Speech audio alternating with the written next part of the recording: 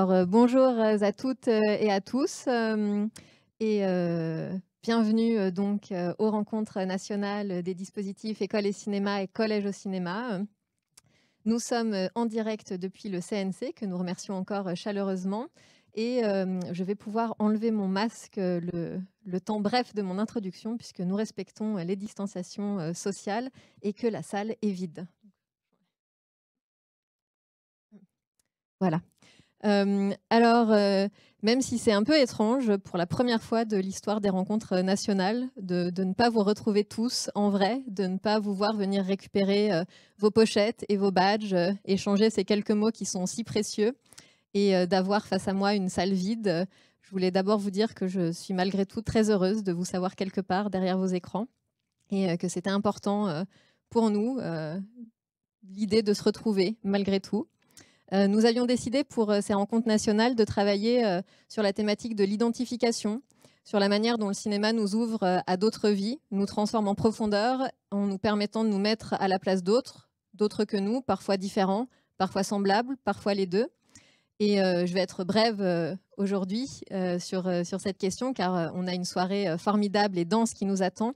Mais j'avais juste envie de vous dire quand même que cette question de l'empathie est plus que jamais essentielle euh, parce qu'on vit des temps difficiles, chacun à notre place, chacun pour des raisons qui sont à la fois des raisons intimes et pourtant partagées, et que nous aurons moins l'occasion de creuser cette question euh, que de, l'identification que ne le prévoyait le programme initial, mais qu'importe, parce que je crois qu'il continue de flotter sur ces rencontres, sur ces quelques jours, cette idée que le cinéma nous permet de mieux se comprendre, de mieux nous comprendre, de mieux comprendre le monde qui nous entoure, et donc de mieux vivre ensemble.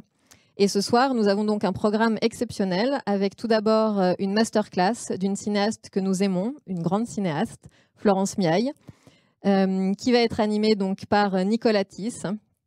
Et, euh, nous aurons ensuite un spécialiste du cinéma d'animation et un long compagnon de route, Xavier Kawatopor, qui viendra nous présenter sa superbe nouvelle revue dédiée au cinéma d'animation qui s'appelle Bling Blanc.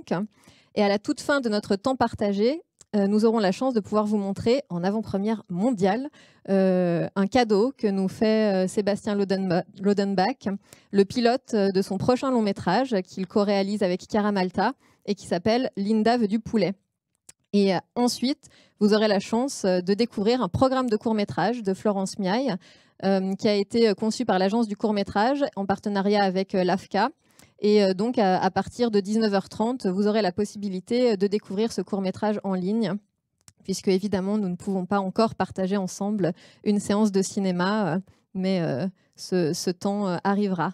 vous dire pour des questions techniques que vous pouvez poser des questions dans le chat tout au long de la masterclass, que nous récupérerons vos questions, nous les traiterons et qu'il y aura donc un temps où elles seront posées euh, après la présentation euh, de la revue avec Xavier Kawatopor, ce qui nous permet euh, d'éditorialiser un peu les questions et d'avoir ce, temps technique. Mais donc, Florence répondra aux questions. Donc, surtout, n'hésitez pas, ne soyez pas timide. Vous pouvez partager vos interrogations sur le chat. Alors, je voulais juste, avant de céder la parole, remercier Jean-Marie Virginie des Bords de Seine, avec qui ces rencontres nationales ont à l'origine été conçues et préparées, puisque nous devions vous accueillir à Juvisy-sur-Orge, au bord de Seine. Donc si Jean-Marie euh, nous regarde, euh, vraiment encore un immense merci. Et puis un immense merci aussi à Mélanie Huret, qui est là à mes côtés, euh, à l'autre bout de la Seine, qui travaille à Cineson, qui était aussi partenaire des rencontres nationales cette année, qui est coordinatrice pour Collège au cinéma dans l'Essonne, programmatrice pour les rencontres de Cineson, et sans qui rien de tout cela n'aurait été possible. Euh, et que vraiment je, voulais remercier chaleureusement, remercier sincèrement, euh, car même dans les remous de cette étrange période, elle a été disponible, amicale, enthousiaste, joyeuse, et que ces rencontres lui doivent beaucoup. Et c'est aussi grâce à elle et à Cineson qu'est née cette belle proposition d'avoir avec nous euh, ce soir Florence Miaille. Donc je lui cède la parole et j'espère vous retrouver bientôt. Alors, je sais, oui, mon micro est allumé. Merci beaucoup, Anne, ça me touche énormément. Euh, ben, de mon côté, au nom de Cineson, je voulais remercier Passeur d'Images pour nous avoir associés euh, à la conception en partie du programme des rencontres. C'était pour nous aussi euh, une très chouette expérience. Et surtout d'avoir trouvé l'énergie et les ressources pour les maintenir, parce que bon, ça suffit. Enfin, on est un peu frustré pour plein de choses de ne pas pouvoir mener les projets jusqu'au bout. Donc là, c'est même si on n'est pas tous réunis dans la même salle, je trouve que c'est vraiment génial. Je suis très heureuse de ça. Et puis, euh, dire que donc, euh, quand on a commencé à discuter avec Passeur d'images sur bah, les possibilités, les propositions d'invités, euh, je pense que tout de suite, tout de suite, j'ai pensé à vous, Florence Miaille. c'est d'abord personnel, hein, c'est parce que depuis que j'ai démarré mon métier, j'ai découvert vos films et cela m'a permis de découvrir une autre dimension du cinéma d'animation que je ne connaissais pas. Et euh, donc voilà, pour moi, vous faites vraiment partie de ces auteurs au style tout à fait singulier et je me lasse pas de voir vos courts-métrages. Euh, parce que à chaque fois, c'est une, découverte, une vision. Euh, je ne sais pas comment expliquer. C'est vraiment le trait d'union entre la peinture et le cinéma. Et à chaque fois, j'ai l'impression que c'est un moment, euh, comment dire, de vivre le moment présent. Je ne sais pas comment l'expliquer, je n'ai pas les mots. Mais en tout cas, voilà, je suis très touchée par votre poésie, euh, votre cinéma, votre œuvre. Et j'ai une hâte immense, je vous l'ai dit, de découvrir votre long métrage euh, dans les salles, bientôt, je l'espère. Voilà. Bah, merci beaucoup pour tous ces compliments de part et d'autre. Alors, ben, bonsoir à tous et bienvenue à cette rencontre avec euh, Florence Miaille.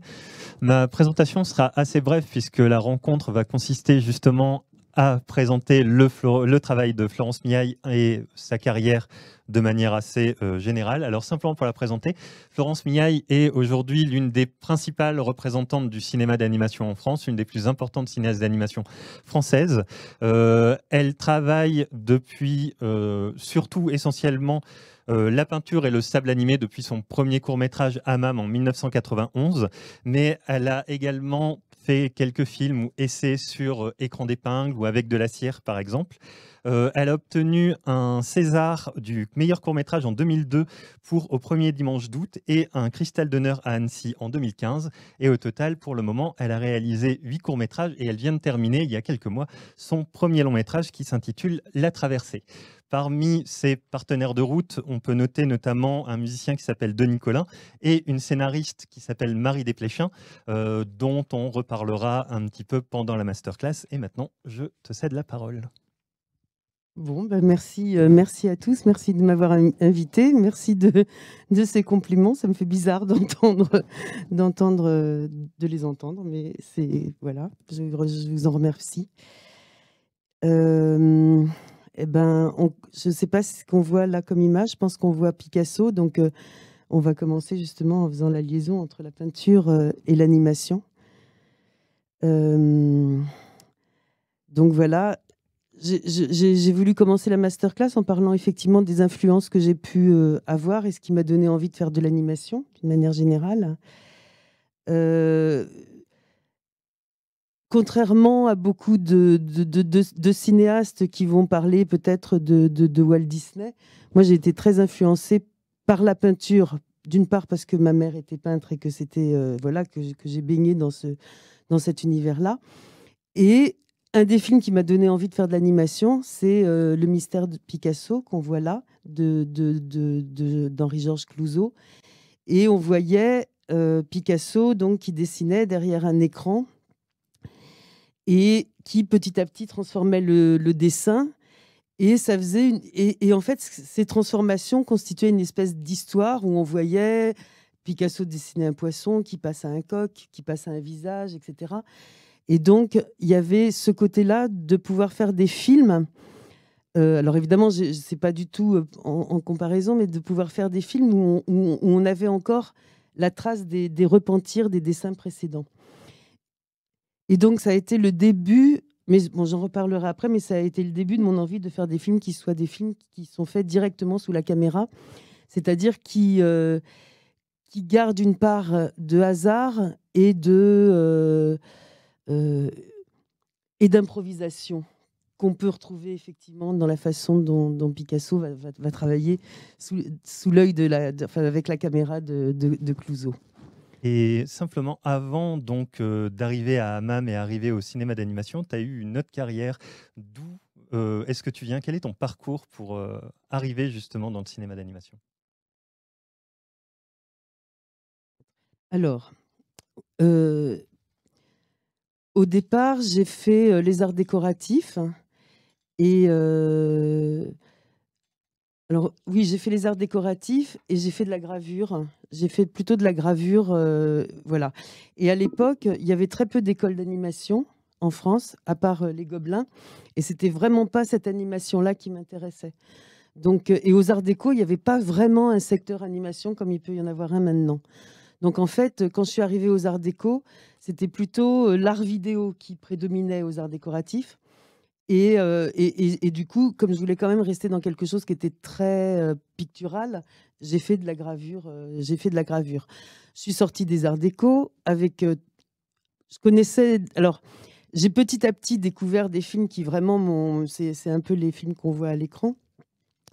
J'ai petit à petit découvert des films qui m'ont vraiment passionné, comme les films de Caroline Leaf, les films de Peter Foldev, de Jean-François Laguilloni les films de, George Schwitzgebel ou de, ou de hum, Yuri Norstein.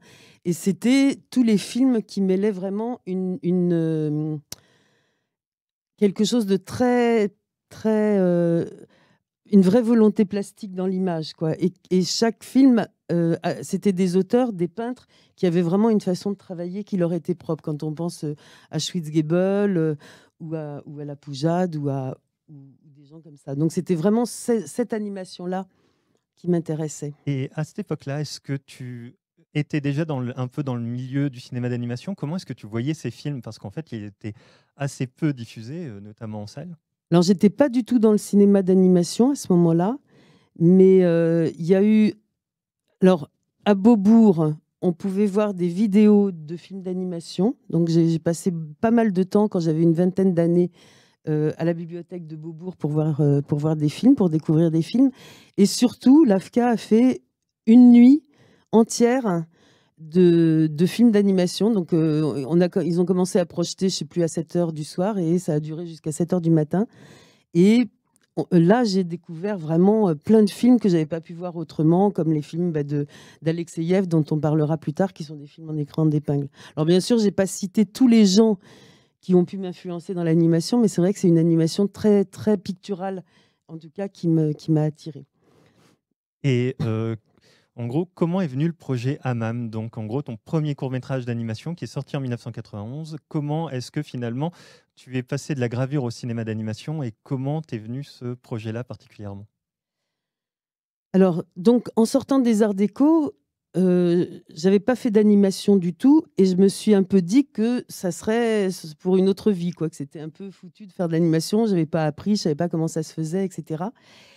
Euh, et, j'ai commencé à faire de la gravure, de la peinture, des illustrations pour les journaux. J'ai été maquettiste dans la presse, bref, pas mal de choses.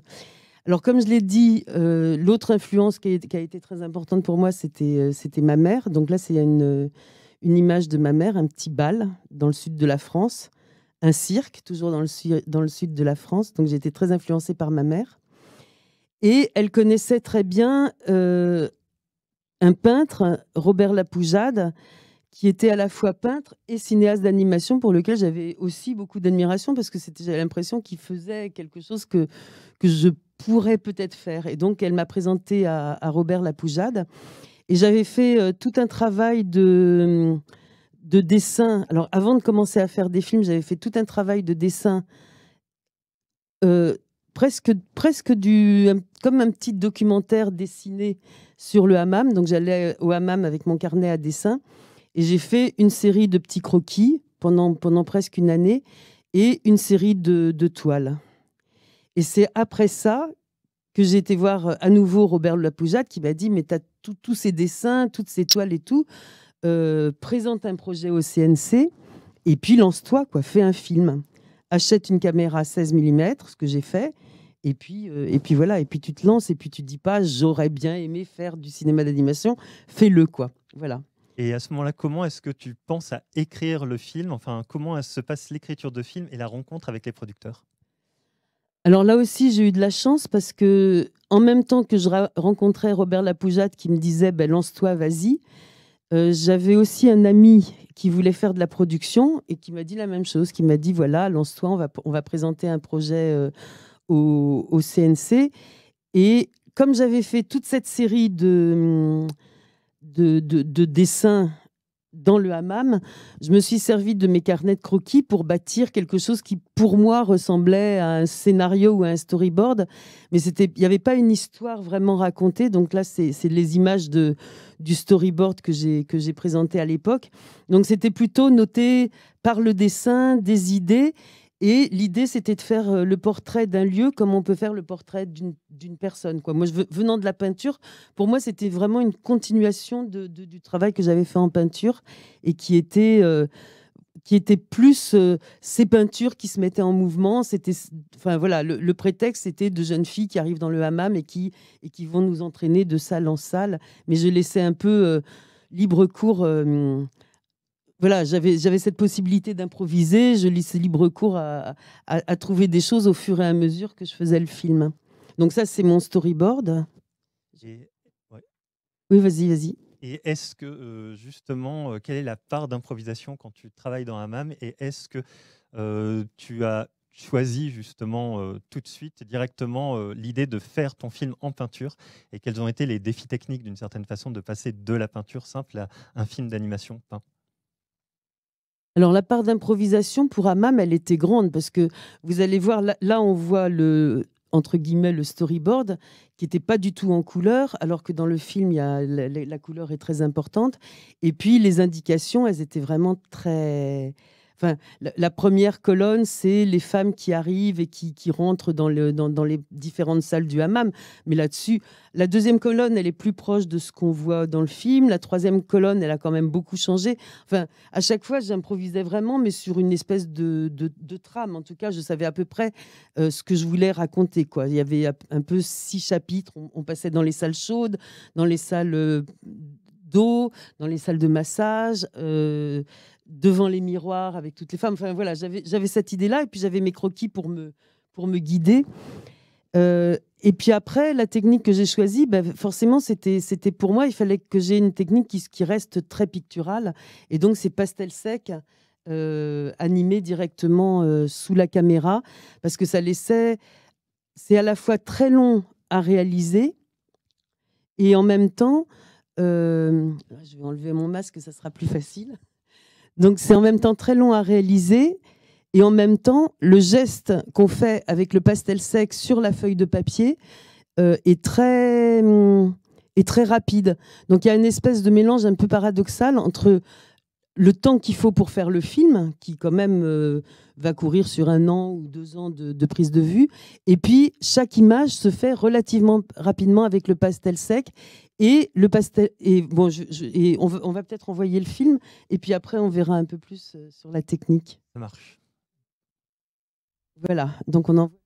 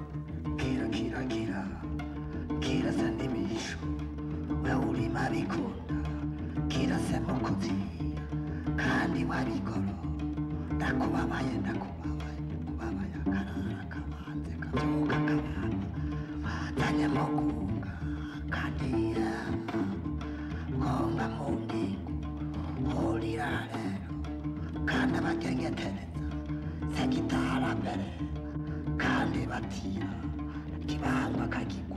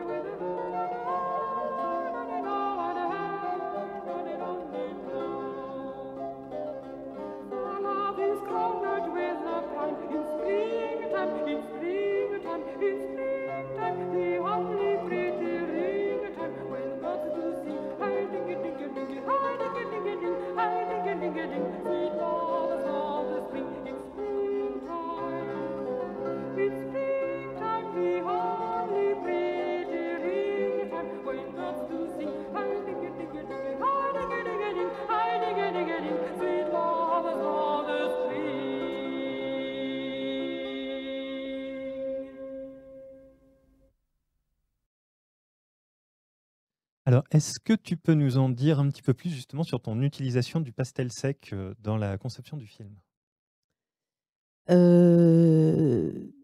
Alors, je ne sais pas si j'ai- plus l'image. Voilà, si, j'ai l'image. Donc, oui, j'ai dit que je faisais le pastel sec parce que c'était vraiment pour moi une façon d'avoir cette matière picturale. Et aussi parce que. alors, je vous montre un petit peu comment ça marche. Donc, en fait, euh, le dessin est fait toujours sur la même feuille de papier, au pastel sec. Et en fait, l'animation se fait par euh, recouvrement. C'est- C'est-à-dire qu'on n'efface pas le dessin précédent. Au contraire, on, va, alors pour faire lever un bras, comme on le voit euh, là sur les images, on va prendre un pastel rose et puis on reconstitue le fond au fur et à mesure que le mouvement se fait. Voilà, donc là vous avez vu et ça donne en vitesse, euh, voilà, très rapidement, ça donne ça. Et donc en fait, euh, on, fait le dessin, on prend une image, on fait le dessin, on prend une image, on repasse le film à 24 images secondes et du coup on a une animation. euh, si on veut faire le bras qui se lève en une seconde, il faut faire euh, 24 images donc pour, pour lever le bras en une seconde. En général, en animation, on essaye de faire un peu moins d'images parce que l'œil va reconstituer le mouvement, euh, même si on fait 12 images qu'on prend deux fois, et même si on fait 8 images qu'on prend trois fois. 3 fois 8, 24. Après, si on fait 6 images qu'on prend quatre fois, on commence à avoir un mouvement qui est un peu saccadé. Bon, ça, c'est pour euh, repréciser le travail qu'il y a à faire sur l'animation. Mais la différence, c'est que normalement, l'animation traditionnelle va se faire euh, l'animation traditionnelle va se faire sur des feuilles. À, l'époque, se faisait sur des feuilles de papier toutes différentes. On préparait tous les dessins à l'avance et ensuite on les filmait. Et là, toutes les techniques d'animation que je vais utiliser, ce sont des techniques où l'animation se fait au fur et à mesure, pas pas à l'avance, mais au fur et à mesure. Pardon. Merci. Alors, euh, par rapport, donc, toujours euh, en vitesse par rapport à Amam aussi, c'est, quelque chose que tu poursuis justement avec ces autres films. Il y a un thème qui arrive euh, et qu'on voit déjà bien, c'est un peu l'exploration des corps et la, sensualité. Pourquoi justement ce thème te hante et hante tous tes films? D'où vient cette thématique-là? C'est toujours difficile de répondre à ça. Je pense que c'est quelque chose que je dois faire comme ça un petit peu naturellement. Puis je pense que le, la, sensualité de la matière intervient beaucoup aussi dans la sensualité des, films. En dehors des sujets qu'ils traitent, il y a effectivement une matière qui est très, qui est très vivante, qui est parce qu'elle elle, elle est, elle est pas. On sent qu'il n'y a pas une maîtrise complète et puis qu'il y a quelque chose de l'ordre du toucher qu'on sent aussi dans, dans, dans l'image qui se forme et qui se, euh, avec les lignes qui se, qui se remplacent comme ça. Je parlais du mystère Picasso avec les repentirs et effectivement, comme on peut le voir, comme on a pu le voir dans Hammam, on a effectivement les traces des dessins précédents qui restent, qui restent et qui donnent quelque chose de peut-être d'assez inattendu par rapport à ce qu'on peut trouver dans l'animation traditionnelle, quoi. Et est-ce que cette, cette- cette sensualité de la matière, on va dire, qui t'amène justement à euh, adapter euh, Les Mille et Une Nuits euh, et à avoir envie justement de reprendre euh, Je pense que la, la sensualité de la matière, elle vient en plus euh, des sujets que je traite. C'est-à-dire qu'ils sont d'au- d'autant plus sensuels qu'il y a cette matière qui agit aussi sur, euh, dans le film. Euh, après, euh, oui, je, pense que j'aime parler. Enfin, je trouve qu'en animation, pouvoir parler en animation de la façon dont les corps évoluent, dont les corps sont dans un espace ou dans une histoire et tout ça, c'est quelque chose qu'on peut faire particulièrement en animation. Euh, parler des, femmes du hammam, alors j'avais fait beaucoup de croquis, mais parler des femmes du hammam, parler des femmes qui, peuvent être euh, très belles alors qu'elles sont très fortes et qu'elles sont, ou qu'elles sont au contraire, euh, enfin voilà, toute, cette, possibilité qu'il y a dans le, de représentation du corps par la peinture et par le mouvement en plus. Et, et la subjectivité qu'amène à la fois la peinture et le mouvement, parce que j'essaye pas du tout d'être réaliste dans les mouvements que je fais. Enfin voilà, pense que tout ça joue. euh. Alors après, donc comme je le disais, pour moi, Hammam, ça a vraiment été un portrait de, lieu. Euh, C'était vraiment la continuation d'un travail de peinture. Et avec les deux films suivants, chez Razad et, Histoire d'un prince devenu borgne et mendiant, c'était aussi l'envie de me confronter à un récit, donc le récit euh, inaugural des Mille et une nuits. Et pourquoi avoir choisi, par exemple, cette partie-là des Mille et Une Nuits Et en plus, c'est aussi ta Non, mais- première rencontre, euh, il me semble, euh, euh, pour Scheherazade avec Marie Desplechin. Est-ce que tu peux nous parler justement de cette rencontre et la manière dont tu as pu écrire justement ce film avec elle? Alors, euh, j'ai eu envie. Enfin, pourquoi les mille et une nuits et pourquoi ce récit des mille et une nuits? Bah, Les mille et une nuits, c'était c'est énorme, donc il fallait bien l'attaquer par un bout et puis l'attaquer par le début que tout le monde croit connaître, c'est-à-dire l'histoire d'une femme qui va raconter des histoires parce que un roi jaloux se met à tuer toutes les femmes de son pays.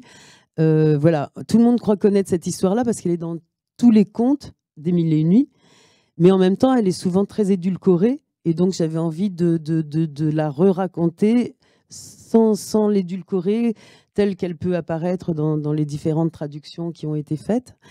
Et, et puis, voilà, et puis l'histoire d'une femme qui. Voilà, moi j'étais une femme qui peint, et puis euh, c'était une femme qui peint, une femme qui raconte des histoires et qui. Voilà, chez Razad, puis je trouvais que c'est une belle histoire. Chez Razad, c'est une héroïne, c'est quelqu'un qui se met en danger pour sauver le monde du chaos dans lequel le précipite, euh, enfin risque de, le précipiter, son, le roi Shahriar qui, s'est mis en tête de tuer toutes les femmes parce qu'il pense qu'elles sont toutes infidèles. Donc voilà, c'était vraiment une histoire qui me parlait. Et puis en plus, euh, à l'époque, euh, j'avais lu un petit entrefilet dans Le Monde où il disait qu'en Égypte, il, il, hum, il brûlait euh, les, les- les- les exemplaires des, des originaux des Mille et une Nuits. Voilà, donc ça me semblait important et de le faire, euh, de le faire pour, euh, voilà, pour plein de raisons, Et donc, et pour toutes pour- ces raisons plutôt. Et pour la, ben, on peut peut-être regarder un extrait euh, de Sherazade. Je ne sais pas si j'en ai, en fait, j'ai pas d'extrait de Sherazade. Et bah, est-ce que tu peux simplement Mais nous- vous allez le voir, enfin, si ceux qui resteront après, euh, après la, la conférence pourront voir Sherazade euh, ensuite. Et Est-ce que tu, tu peux nous parler de la collaboration avec Marie Desplechin qui commence à ce moment-là? Oui, c'est à ce moment-là que pour, euh, pour écrire, parce que euh, pour écrire le texte de, de Sherazade, j'avais besoin de quelqu'un. Euh, et c'est à ce moment-là que j'ai rencontré Marie Desplechin et, et j'avais besoin de quelqu'un qui mette des mots sur. Moi, je pouvais dire les choses en images et j'avais besoin de quelqu'un qui dise, euh, qui mette les mots sur ce que je pouvais pas dire dans les images. Donc, on a essayé de travailler dans une espèce d'aller-retour comme ça entre les images que je faisais et, je- et- ce que ce qu'il fallait comprendre de, du film qu'on pouvait pas exprimer par les, par les images. Et donc euh, voilà, ça a été un espèce d'aller-retour comme ça. Et puis c'est ça a été une collaboration avec Marie qui, s'est jamais interrompue puisque le dernier film que j'ai fait, le, le- le- le long métrage, je, l'ai coécrit avec elle. On a voilà. Et euh, donc, on arrive au premier dimanche d'août, qui est là, je pense, le premier film que tu as fait avec euh, l'Arlequin. Les films de Euh, l'Arlequin, oui.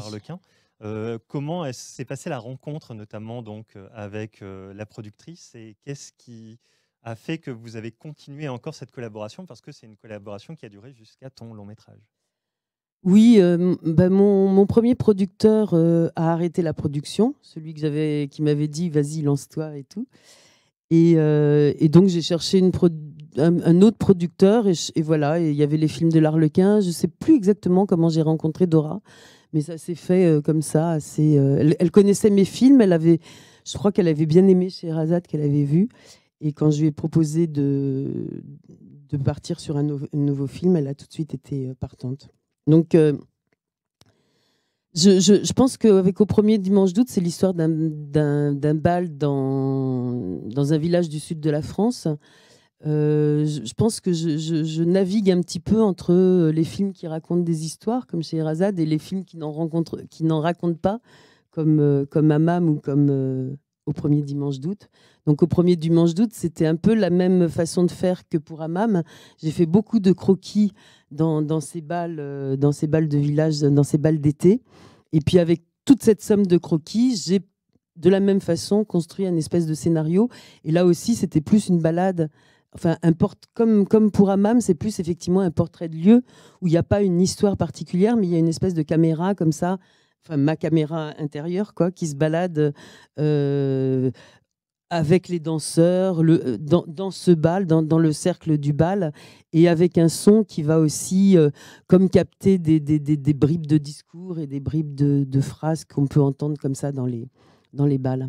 Et justement, comment est-ce que tu travailles le son et la musique? Est-ce que ça, ça arrive après, après avant?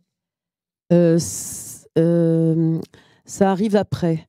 Alors, euh, la musique, elle arrive après. Donc là aussi, c'est de Nicolas avec qui j'ai. Enfin, je suis assez, euh, je suis assez fidèle à mes collaborateurs. Donc de Nicolas, on a beaucoup travaillé ensemble. Il a commencé à faire la musique à partir, euh, pareil, à partir de chez Razad et de Histoire d'un prince borgne. Et pour, pour le bal, il a fait la musique après, une fois que les images ont été faites. Mais euh, on, se rencontre, on, se, on se rencontrait beaucoup pendant l'élaboration du film, parce que moi, je mets deux ans à faire le film, et, on, se rencontre, on se rencontrait de temps en temps. Et, en fait, comme il y avait- des danses très précises, il m'avait donné le tempo des danses avant de faire l'animation. Mais la, musique se fait après. Et pour tout ce qui est des, paroles qu'on entend dans, dans le film, euh, on, a, euh, on a enregistré pendant les balles, au moment où il n'y avait pas de musique, au contraire, pendant les, avant le bal, après le bal, dans les cafés, etc. Et on a fait un espèce de, avec, euh, avec le, mon- le monteur son, Fabrice Gérardi, on a fait un espèce de, montage euh, très. C'était vraiment de la dentelle, quoi, parce qu'on allait piocher une phrase par-ci, une phrase par-là, en fonction de ce qui se passait dans le film. On a essayé de, de trouver les phrases qui correspondaient à peu près à ce qui se passait dans le film, mais on l'a fait euh, après aussi. Et. et c'est très, c'est, très bizarre parce qu'en fait, c'est, c'est complètement fabriqué. On a l'impression d'un son qui est presque un son de, documentaire, mais en même temps, c'est très fabriqué parce que le, le, le temps réel ne correspond pas au temps de l'animation. Donc, c'est-à-dire que installer une ambiance dans un film en prise de vue réelle et passer d'une ambiance à l'autre, ça demande un certain temps. Et là, on était obligé de tout condenser, quoi. Euh, et est-ce que tu pourrais dire justement, parce que comme tu parles. ah voilà, il y a un ah, petit extrait. Ah, je peux le remettre? Non.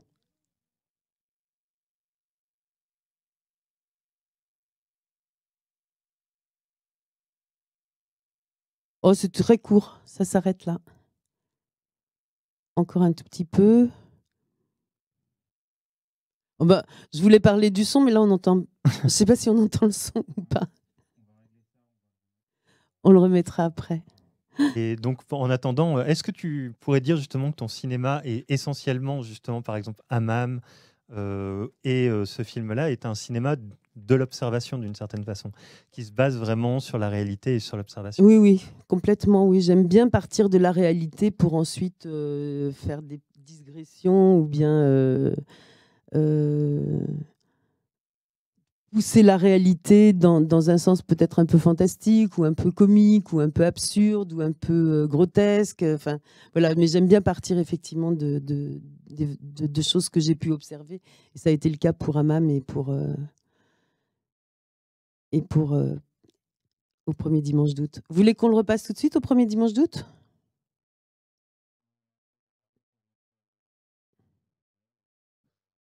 D'accord. Donc je continue. Voilà. Donc pour au premier dimanche d'août, euh, la technique elle est un petit peu à peu près la même. C'est toujours du pastel sec. Euh, mais, mais là, on voit comment je travaille. Et en fait, euh, comme je le disais pour Amam, en fait, je recouvrais, je recouvrais, je recouvrais, je recouvrais. Et euh, j'avais des, feuilles de papier qui étaient de plus en plus saturées de matière. Donc il y avait une matière qui s'accumulait comme ça sur, les, feuilles de papier que j'utilisais. Donc en fait, à chaque plan, il y a une feuille de papier différente. En fait, je change de, de feuille de papier à chaque plan. Et là, c'était euh, un peu. Euh, c'était une technique, c'était toujours au pastel sec, mais en fait, j'avais un- une feuille de calque qui était éclairée par en dessous, avec une partie du décor qui était fait sous la feuille de calque, avec une peinture transparente, et et les personnages qui bougeaient étaient sur la feuille. Et donc, euh, je dessinais et je grattais. Gratter, ça me permettait qu'on voit le, décor qui apparaît en dessous. Voilà. Très bien. Euh. On passe finalement au film euh, suivant ou on attend un petit peu pour la. On passe à.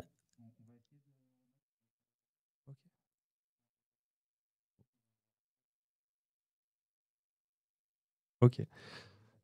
D'accord. Bon ben, on va commencer justement avec euh, les oiseaux blancs, les oiseaux noirs par euh, regarder le film. Voilà, qui est un petit film de 4-5 minutes, 5 minutes, je pense.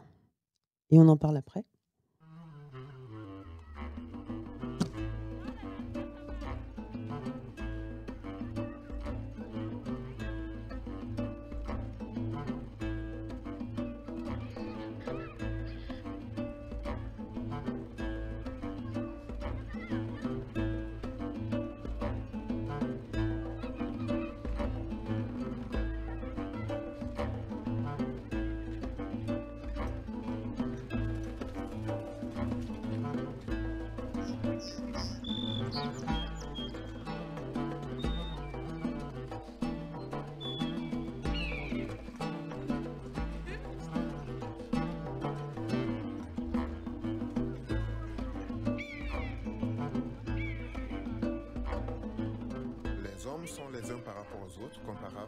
Situés face à face. Chaque mur est percé d'une multitude de petits trous où nichent des oiseaux blancs et des oiseaux noirs. Les oiseaux noirs, ce sont les mauvaises pensées et les mauvaises paroles Les oiseaux blancs, ce sont les bonnes pensées et les bonnes paroles. Les oiseaux blancs ne peuvent entrer que dans des trous d'oiseaux blancs et les oiseaux noirs ne peuvent nicher que dans des trous d'oiseaux noirs. Maintenant, imaginons deux hommes, Youssouf et Ali, qui se croient ennemis l'un de l'autre.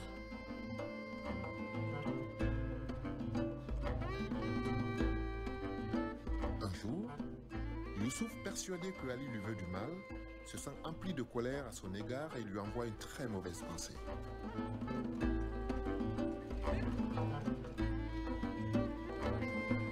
Ali observe le courroux de son ennemi, mais n'émet aucune colère. L'oiseau de Youssouf, ne trouvant pas où se loger, retourne à son nid d'origine avec tout le mal dont il est chargé. Mais imaginons que dans le même temps, Ali envoie lui aussi une mauvaise pensée. Les oiseaux parviennent à leur but, détruire l'homme auquel ils étaient destinés.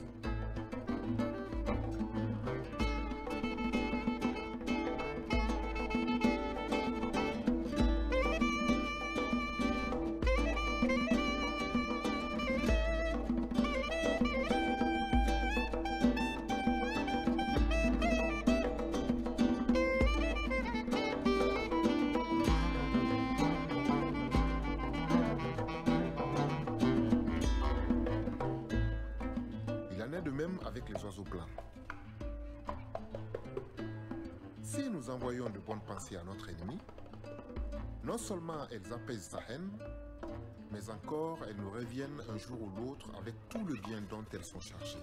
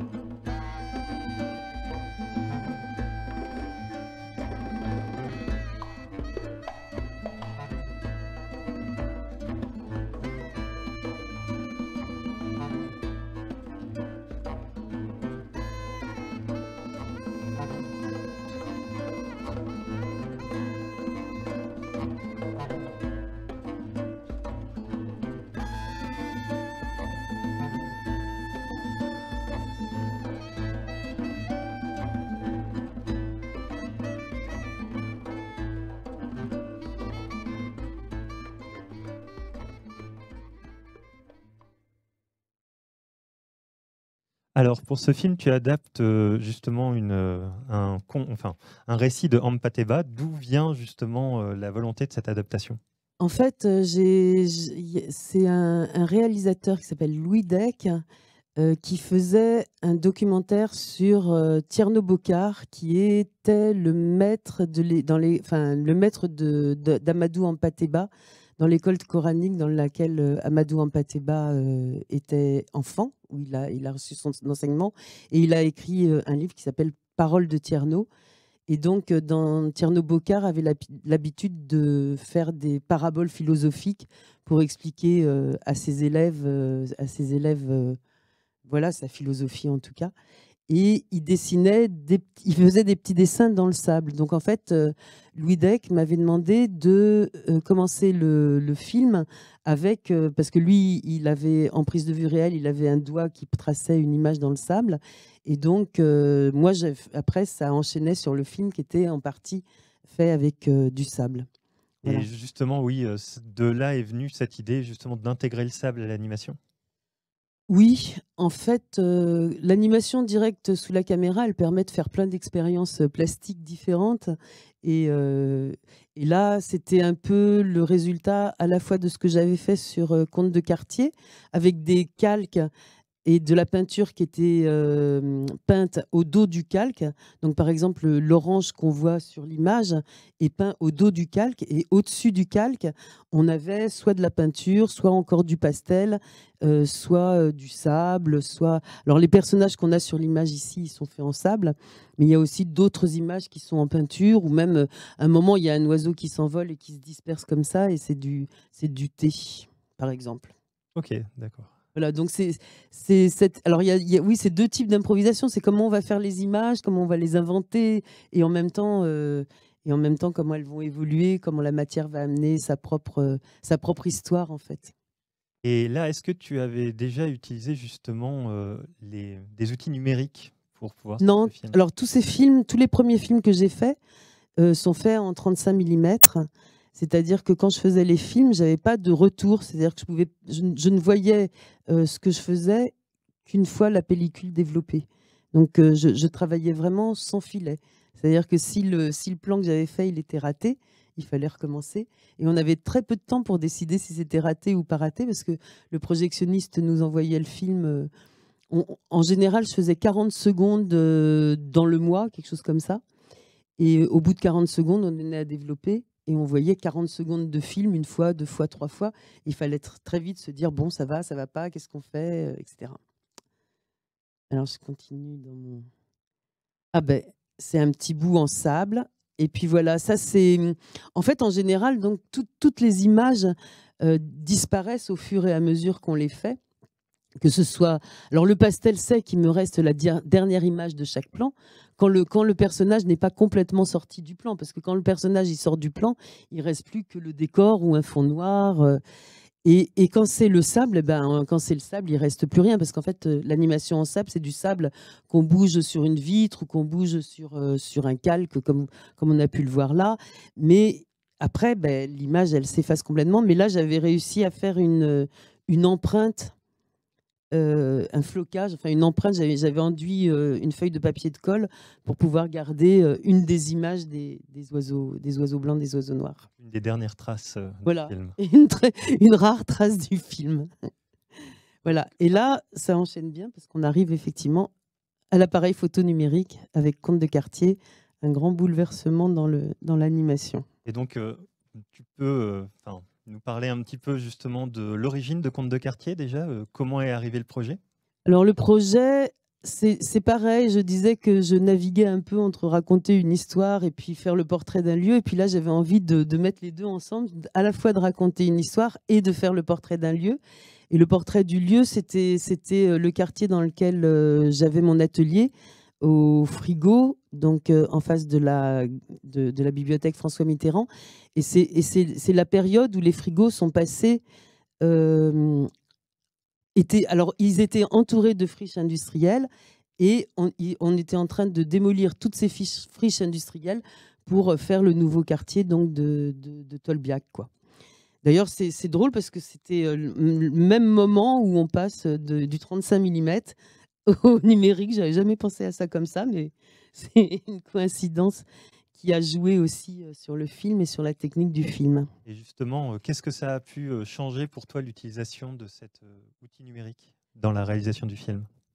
Alors, euh, ben ça, ça a tout changé parce que ça m'a permis de faire euh, ce que je ne pouvais pas faire avant dans mes films, euh, c'est-à-dire des, trucages et d'utiliser euh, le compositing, c'est-à-dire de pouvoir rajouter à une image qui était faite de façon un peu artisanale euh, des images, d'autres images, c'est-à-dire que je pouvais travailler en couches.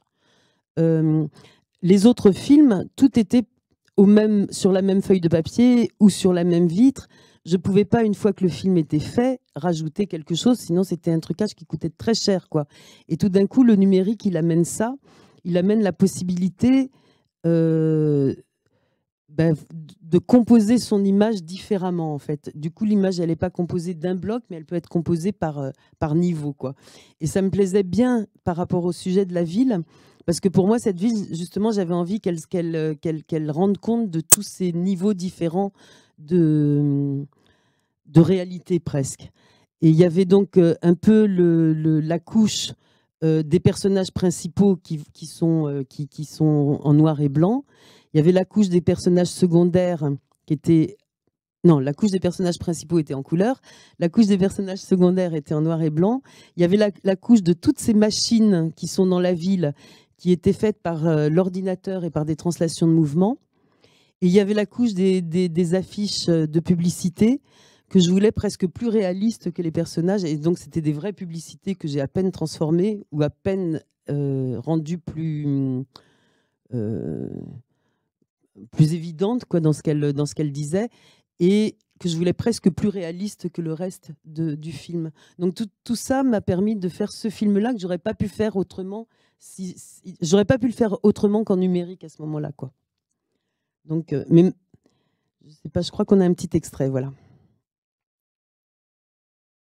Alors, il y a toujours pas de son, mais c'est moins important que pour euh, au premier dimanche d'août. Et donc là, on voit les, les- les- oiseaux sont rajoutés sur une image qui est faite précédemment.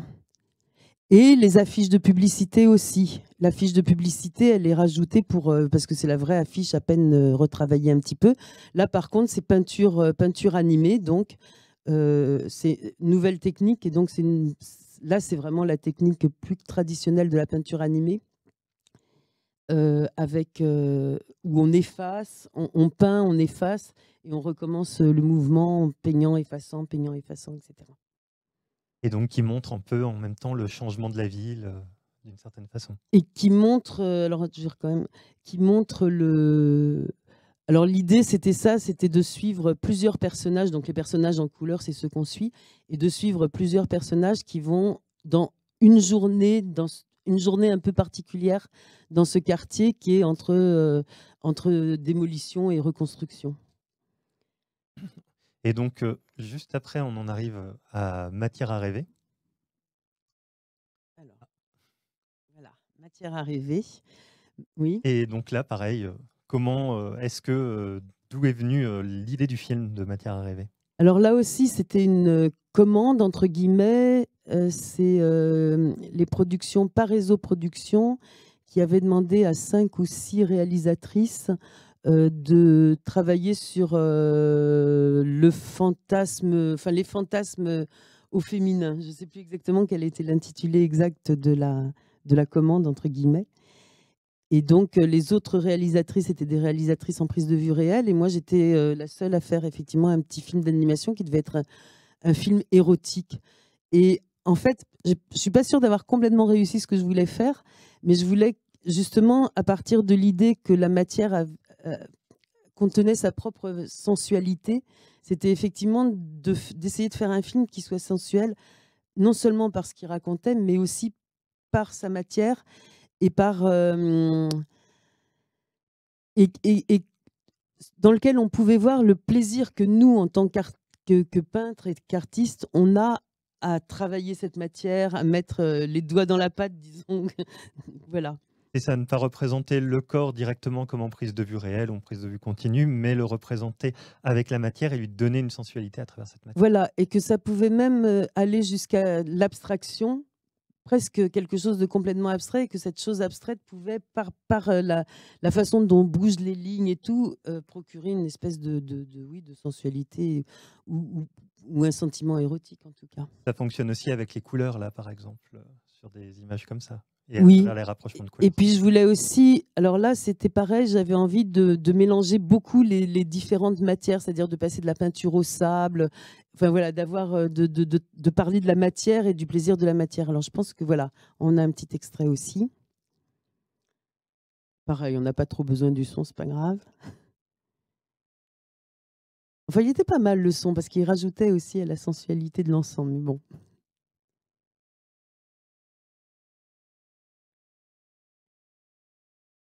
Voilà, et là on passe au sable.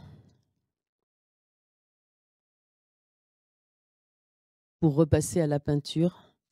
Et donc de travailler comme ça ces mélanges et puis de- d'essayer de, voir comment ça pouvait. Et comme je le disais, d'avoir des choses qui sont presque, presque abstraites où on reconnaît à peine, euh, à peine les corps, quoi. Voilà. Très bien.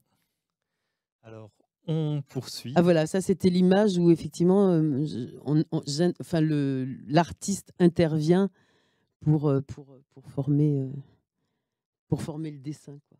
Euh, oui, ça, c'est donc. euh, on voit la main qui intervient, Ouais. qui va justement euh, dessiner. ouais. Voilà, dessiner, re- re- remodeler les seins, remodeler. euh. Alors, donc là, on en arrive euh, à une autre adaptation. C'était hum, oui une adaptation. On a travaillé à trois, euh, trois réalisatrices. mais, euh, Élodie Bouédec et Mathilde Philippon, et euh, sur les métamorphoses d'Ovide. Et là, là j'ai pas travaillé avec Marie Desplechin pour l'adaptation, parce que les autres, euh, chaque, chaque film, elle a, elle a eu un rôle, soit, soit, soit important. Enfin, Conte de quartier, pareil, on a travaillé le scénario ensemble. Et euh, là, donc, c'était pas avec elle, et on a, on a essayé d'adapter les métamorphoses d'Ovide à travers euh, six histoires qui se situent euh, le long d'un le long d'un cours d'eau, le long de, du premi- de, de la, première personne de l'histoire, Assis, transformé en fleuve, et, le long de son cours, il va rencontrer d'autres personnages qui vont et dont il va raconter l'histoire. Donc le personnage principal, c'est c'est Assis qui, qui croise euh, Actéon, qui croise enfin, un certain nombre de de- d'histoires des métamorphoses. Alors justement, les- histoires. les métamorphoses sont tellement immenses qu'on ne pourrait jamais, ou alors en tout cas difficilement l'adapter. euh, C'est comme les mille et une nuits. voilà.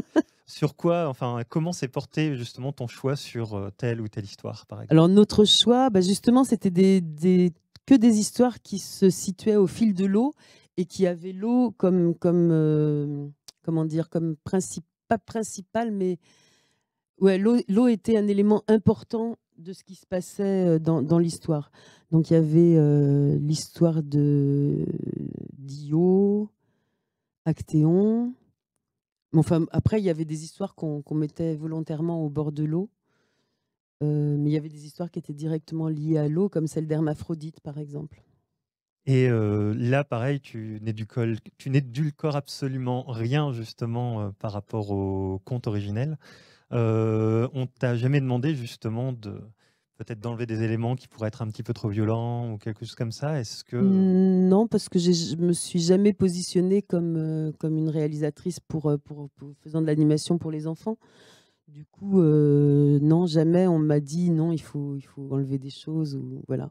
Ça aurait peut-être pas été le cas si c'était destiné euh, aux enfants, mais le, court métrage me donne plein de liberté, y compris celle de, travailler à peu près comme j'en ai envie. euh, voilà, je pense que si, je travaillais pour euh, France 2, France 3 sur les métamorphoses d'Ovid, j'aurais pas pu faire ce genre d'image si ça avait été pour les enfants.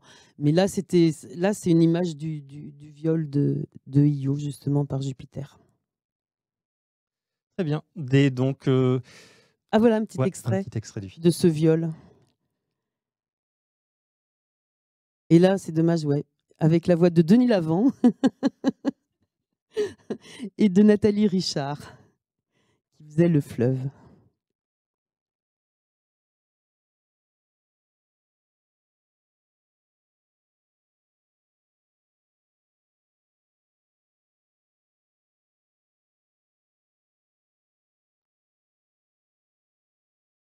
Et en fait, sur ce film-là, il était moitié en sable, moitié avec des images qui étaient projetées directement par un rétroprojecteur et sur lesquelles on, intervenait euh, directement avec nos mains. Donc il y a, certaines images qui sont faites euh, non pas directement sous la caméra en animation, mais, mais en réel, quoi, en prise de vue réelle. Et aussi, ça permet d'expérimenter encore de nouvelles Voilà, ça permettait d'expérimenter. Et puis c'est vrai que j'expérimente. Je pense pas que j'ex- j'expérimente pour expérimenter, mais je pense qu'à chaque fois, les changements de technique ont une raison. Et là, c'est vrai que les mains intervenaient un peu comme, comme des, des dieux. Enfin, tous les animateurs sont un peu des. des- des- on crée des créatures et puis on les façonne et tout ça. Donc c'était euh, voilà. Et les mains intervenaient un peu comme comme comme les dieux de l'Olympe sur euh, sur les personnages qui étaient euh, qui étaient en animation. Après euh, ce film-là, justement, tu as fait aussi quelques expérimentations, notamment pour euh, Carambolage, la série d'Arte, et tu as fait, enfin, tu as participé à un atelier euh, parrainé notamment par le CNC et le Musée Château d'Annecy sur l'écran d'épingle d'Alexandre Alexeyev et Claire Voilà. Et donc, oui, est-ce que tu peux nous dire quelques mots sur cette, Alors, l'écran d'épingle, c'est un outil d'animation absolument incroyable qui a été créé par, euh, par euh, Alexandre Alexeyev et puis par Claire Parker. Mais d'abord par Alexeyev et ensuite, euh, ensemble, ils l'ont amélioré. Et donc, c'est un écran qui est à peu près un peu plus grand qu'un écran d'ordinateur et sur lesquels il y a 300 000 épingles qui sont euh, assemblées et qui 300 000 épingles qui sont assemblées dans des tubes de caoutchouc, enfin qui sont enfilées dans des tubes de caoutchouc blancs et les épingles dépassent de 5 mm de ce tube, ce qui fait que quand on les éclaire avec une, euh, lumière à 45 degrés, ça projette une ombre. Et plus l'épingle est sortie de, de ce caoutchouc, plus l'ombre est grande et plus on a un noir.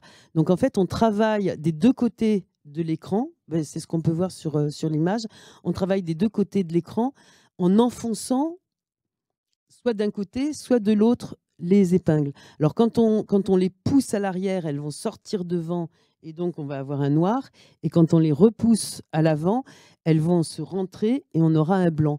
Et les épingles sont, c'est assez dur. hein. On est obligé de travailler avec des instruments. On ne peut pas travailler à main nue parce qu'il y a beaucoup de résistance sur les épingles, ce qui fait qu'on peut avoir quasiment, en poussant et en repoussant ces épingles, en les caressant légèrement, on peut avoir toutes les nuances de gris, blanc au gris, vraiment, du blanc au noir, pardon, avec toutes les nuances de. Et là, d'une certaine façon, tu retrouves un petit peu, euh, d'une certaine façon, l'expérience de la gravure que euh, par laquelle Absolument. tu es. Absolument. Alexeyev était un graveur et en fait, il a cherché à faire une animation qui ressemble à de la gravure. Et effectivement, c'est un, c'est un outil qui, est, euh, qui, qui- qui ressemble, qui ressemble à la gravure. Quoi. Alors, ça, c'est voilà, ça, c'est l'écran euh, avec moi devant. Je sais pas pourquoi j'ai. Et ça, c'est ça, c'est l'écran quand il est blanc. Donc, on voit tous les petits points. Et là, on me voit et on me voit enfoncer en fait un, une gravure que j'ai faite à l'avance. Et quand je alors, donc je suis derrière l'écran, puis ça rejoint aussi le mystère Picasso parce que là je suis derrière l'écran et j'enfonce cette gravure et en enfonçant cette gravure, je fais ressortir les aiguilles, les aiguilles et ça donne, ça donne cette image là. Et donc, euh, lors de cet atelier, pour, apprendre à utiliser l'écran d'épingle, euh, tu as fait un petit film qui s'appelle euh, donc 25 passages des oiseaux. Voilà, 25 passages des oiseaux qu'on va voir, euh, qu'on va voir, qu'on va voir maintenant.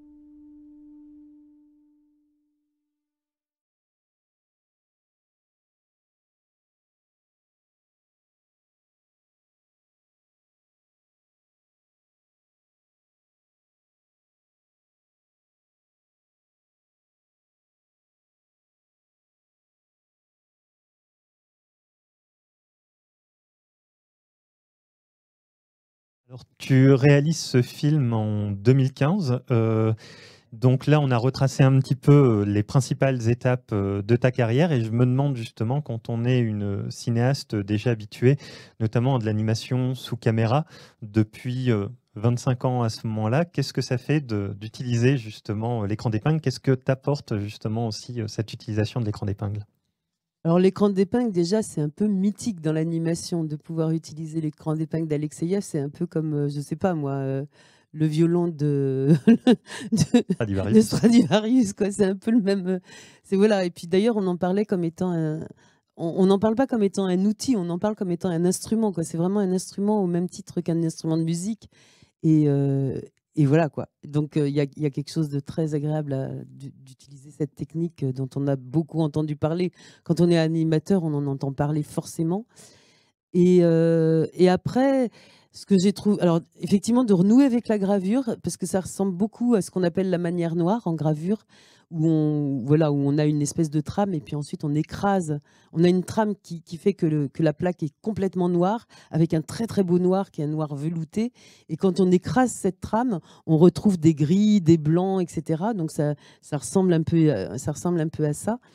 Et puis après, euh, ce qui est agréable aussi, c'est euh, euh, chaque technique va, amener sa façon de faire de l'animation. C'est-à-dire qu'en fait, on ne peut pas faire la même chose quand on travaille la peinture à l'huile, quand on travaille le pastel sec, quand on travaille l'écran d'épingle, euh, quand on travaille le sable. Chaque, euh, technique va, permettre de faire des choses qui sont plus ou moins faites pour la technique. Enfin, il y a une espèce d'aller-retour comme ça entre ce qu'on veut faire et la technique qu'on utilise. Et l'écran d'épingle, par exemple, ça permet de faire des bah, d'avoir cette nuance de gris qui permet de passer du, blanc au noir euh, avec beaucoup de douceur, beaucoup de voilà que, que par contre quand on veut faire à un moment j'ai essayé de faire des lignes parce que c'était des c'était des essais donc j'ai essayé de faire des lignes et les lignes c'est très dur à travailler parce qu'il faut travailler toute la toute la surface de l'écran en appuyant sur ces lignes, c'est très dur à changer. Alors que si je les avais fait par exemple en sable, les lignes, avec le pouce, je fais la ligne, je transforme la ligne. Le sable est parfait pour les transformations. Euh, le pastel, ça va vite. La peinture, enfin, voilà, il y a- à chaque fois, chaque, euh, chaque technique, elle, elle va donner son, sa façon de faire. Quoi. Très bien, merci. Donc là, on va passer pour la dernière partie de la masterclass. On va revenir un petit peu en arrière puisque euh, on remonte à environ euh, 2006, c'est le début du projet de la traversée. Donc, euh, quelle est l'histoire justement de la traversée, film que personne encore pour le moment n'a vu, et euh, d'où Oui, vient ce projet? Euh, alors, euh, le, le projet, il a commencé en 2006, euh, au moment où on commençait à parler un peu du problème des migrations, mais on n'en parlait pas tant que ça. Mais moi, je pense que, comme beaucoup d'autres, hein, j'étais assez sensible, euh, assez sensible parce que euh, je viens d'une famille euh, juive d'Odessa qui est partie dans les grandes migrations du début du siècle en 1905 et qui donc a traversé tout- tout- tout- toute l'Europe pour arriver en France. Donc c'est mon arrière-grand-mère qui avait, alors j'ai une, photo, voilà, mon arrière-grand-mère avec 10 enfants. Et quand elle a fait cette traversée, elle était enceinte du dixième enfant. Elle avait pas, voilà. La difficulté à l'époque, moi je connaissais, je- voilà, il y a des histoires familiales qui circulent, mais on ne sait pas vraiment quelles sont, comment elle a fait cette traversée. La grande difficulté, on les empêchait pas de partir à l'époque, mais c'est surtout qu'ils n'avaient pas d'argent et que euh, voilà et qu'ils étaient avec 10 enfants, donc il paraît qu'ils cachaient les enfants dans les dans les bagages de façon à ce qu'ils en aient moins euh, dans le dans, le- dans les trains qu'ils prenaient et tout. Et donc euh, partant de et puis donc à l'époque il y avait commençait toute cette vague de cette grande vague de migration actuelle. Et euh, mon mari, qui est photographe à l'agence Magnum, était parti euh, à Malte et à Lampedusa pour photographier les, les migrants. Euh, ça, c'est aussi des photos à lui de, des migrants chinois qui rejoignent Hong Kong. Et donc voilà, tout tout, j'avais envie de travailler sur, sur cette, ces histoires de migration. Alors au début, je voulais, voilà, alors et pareil quoi, je me- je- enfin c'est toujours un peu la même chose quoi. Je m'inspire de la réalité pour transformer cette réalité en en, là, en l'occurrence, en espèce de, un espèce de conte migratoire. Là qu'on voit bien justement avec la reprise euh, d'un élément, notamment de l'immeuble, justement sur le dessin. Ouais. Ça, c'est les croqueries préparatoires? Ça fait partie des croquis préparatoires? Voilà, ça fait partie des, propri- des croquis préparatoires de... que j'ai fait avant de commencer vraiment le film. Et là, par... et en fait, la préparation a été très très longue puisque euh, on a eu beaucoup de mal à rassembler les financements pour faire le film. Et donc, euh, on a- moi, j'ai commencé à, à travailler et à écrire avec euh, toujours avec Marie Desplechin euh, dans les années 2006-2007. Et on a réussi à faire le film en 2016. Et, On a eu les financements pour le faire presque ouais, dix ans après. Et là, euh, pour la collaboration avec Marie Desplechin, est-ce que donc c'est toujours la même chose? Toi, tu as une écriture qui est plutôt graphique et elle, elle vient poser des mots. Comment est-ce que vous avez construit cette histoire-là, toutes les deux? Alors, euh, oui, euh, là aussi, euh, bon, ça je reparlerai après, mais oui, alors au départ, moi je voulais plus être dans un récit historique, hein, celui des grandes migrations de 1905, qui concernait aussi bien euh, les Juifs que les Arméniens, que les Grecs. Enfin, c'est l'histoire de, de, de Kazan et euh, d'America America, quoi. C'est cette période-là. Mais euh, et puis je voulais aussi inventer une histoire avec euh, avec cette arrière-grand-mère et puis ses dix enfants. Et donc très vite avec Marie, c'est surtout Marie d'ailleurs, mais on a décidé d'abord de réduire le nombre de personnages qui allaient faire cette traversée parce que elle m'a dit oui dix enfants euh, dans un film d'animation euh, c'est quand même beaucoup. Et, euh, et en plus on a vite opté aussi pour un récit qui était plus intemporel et donc, c'est une histoire qui se situe plus dans le domaine du conte. Et, on et si au début du film, on peut avoir l'impression d'être effectivement dans la, dans la Russie des années 1905, à la fin du film, on peut être aussi dans, euh, dans, dans une époque, euh, dans un futur proche et dans euh, des camps d'internement de, de- de- des migrants, par exemple. Donc, le, et, la géographie, pareil, on a une géographie qui est une géographie plus. qui n'est pas une vraie. Enfin voilà, c'est un monde imaginaire. On est vraiment, se situe vraiment dans un monde imaginaire. Et très vite aussi, l'histoire va suivre les deux enfants qui perdent leur famille et qui vont continuer leur route euh, tout seuls, un peu comme ces jeunes migrants euh, qui traversent en ce moment les frontières aussi. quoi. On retrouve toujours un petit peu la même caractéristique de ton travail qui consiste à reprendre des éléments de la réalité et ou et de observer, etc. Et essayer de raconter quelque chose et de retrouver Voilà. quelque chose dehors du conte finalement. Qui va, oui, d'un conte à la Dickens, pas d'un Ouais. conte de fées. Oui. Et euh, de même que, voilà, j'ai parlé déjà de l'inspiration de ma mère pour ce qui a, dans, mon, travail. Et donc ma mère était une à, à 16-17 ans. 17 ans, il y a la guerre qui arrive et effectivement, elle va elle aussi partir avec son frère pour rejoindre la zone libre, d'autant qu'ils venaient tous les deux d'une famille juive. Et donc, ils sont partis aussi sur les routes. Et ma mère a commencé à dessiner très, très jeune. Euh, et donc, je me suis, pour, euh, pour faire le film, j'ai aussi utilisé euh, des dessins qu'elle avait pu faire quand elle avait euh, s- 16 ans, 16-17 ans. Et le, le- personnage principal du film, qui s'appelle Kiona, qui est une jeune fille de 14-15 ans, donc ne se sépare jamais d'un carnet dans, dans, dans lequel elle va dessiner l'histoire de cette, de cette traversée. Donc voilà, j'ai déjà parlé de la carte imaginaire, donc qui ressemble quand même à la carte d'Europe. Et les gens voyagent de d'est en ouest, comme on peut le voir, quoi, ce qui ressemble effectivement à ce périple familial. Et là, quand vous écrivez, toi et Marie, justement, le film, est-ce que comme c'est un long métrage, on vous demande de penser peut-être à une forme de cible davantage? Euh, Est-ce que tu orientes ton film dans- vers un conte, mais justement à la Dickens quand même, mais pas un conte de fées?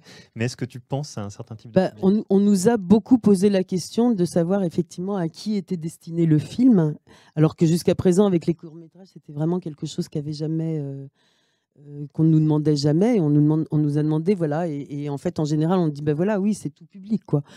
C'est vrai que c'est pas un film pour les tout petits. Je pense que c'est pas un film pour les tout petits, mais en même temps, il y a quelque chose de très joyeux dans les couleurs. Enfin, je pense que c'est, je pense que les films peuvent se voir euh, beaucoup. Enfin, certains films peuvent se voir à tout âge. Et j'espère que La Traversée, c'est effectivement un film qui peut se voir à tout âge parce qu'on peut être euh, attiré par les couleurs, parce qu'il y a quelque chose de joyeux en même temps, et puis en même temps, c'est une histoire triste, évidemment. Enfin, voilà, c'est, c'est, euh, Mais c'est vrai que c'est, quelque chose qu'on nous a beaucoup posé comme question, alors que c'était quelque chose qu'on ne me posait pas jusqu'à présent. Quoi. Et alors, les images qui défilent en ce moment, qu'est-ce que c'est? Alors, c'est. euh, Dès que dès qu'on a fait une, une première version, enfin peut-être pas la première version, mais dès qu'on a fait une version du scénario qui, qui sur lesquelles on était contentes toutes les deux, euh, j'ai très vite dessiné l'ensemble du film sur des rouleaux de, papier de, euh, de comptabilité, de comptabilité, et pour avoir euh, l'ensemble des couleurs du film. Donc sur ce rouleau de papier, un rouleau, ça, permettait en fait de donner toute, toute l'impression colorée de l'ensemble du film, enfin de déterminer l'ensemble coloré du film. Et c'est un rouleau qui nous a suivis tout au long de la fabrication du film, qui a, qui- enfin en tout cas des décors, qui a été un espèce de guide qui, est resté. Ensuite, effectivement, c'est ce que je disais un petit peu sur euh, l'écriture entre Marie et moi, c'est-à-dire que Marie écrit, on élabore l'histoire ensemble, plus ou moins ensemble. Elle, elle structure plus l'histoire que moi. Et de mon côté, je vais plus euh, essayer de mettre très vite en image ce qu'elle raconte de façon à voir si euh, je peux représenter ça dans, dans le film. Par exemple, parfois, euh, elle va pouvoir euh, écrire une phrase du genre Fiona trouve un petit oiseau par terre, le ramasse et lui fait une attelle. Et je lui dis Attends, on enlève ça parce que c'est super long de raconter ça en image, alors que c'est qu'une seule phrase quand on l'a dit. Donc voilà, on a bon ça c'est un exemple un peu simple, mais on a on a des espèces d'aller-retour entre ce que je peux faire, ce que je peux raconter, comment je vais le raconter. Il y a des images qui sont des idées qui sont uniquement des idées visuelles et d'autres qui sont des idées de, de, de récit. Donc voilà, ça se complète entre le visuel et, et le récit. Un peu comme chez Razad, où il y a des choses qu'on peut raconter qu'avec les images et il y a des choses dont on, où, où on va avoir besoin du texte, des dialogues, etc. C'était le storyboard qu'on voyait juste avant, justement aussi? C'est- C'est le premier storyboard que je fais avec Marie. Et ensuite, ce storyboard, il va être euh, de plus en plus euh, précisé. Euh, je vais avoir de plus en plus, euh, essayer de préciser de plus en plus les images. Alors ça, c'est un travail que je fais, que j'ai fait pour la première fois parce que moi, j'ai pas besoin de ça quand je travaille seule sur mes courts métrages. J'ai pas besoin de, préciser de plus en plus les images. Et là, j'avais besoin à la fois pour euh, les dossiers qu'on devait présenter au télé, au CNC, etc. Et à la fois parce que le film, je ne le faisais pas toute seule. Et donc, j'avais besoin d'un document qui est- soit suffisamment clair pour ensuite le transmettre à mes collaborateurs, aux animatrices, aux décoratrices.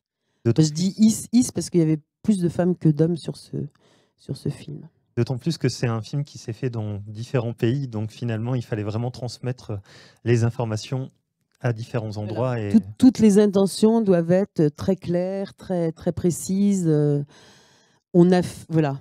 Donc euh, ça, c'est le storyboard. euh, C'est le storyboard. Et ensuite, j'appuie pas sur le bon truc. Voilà.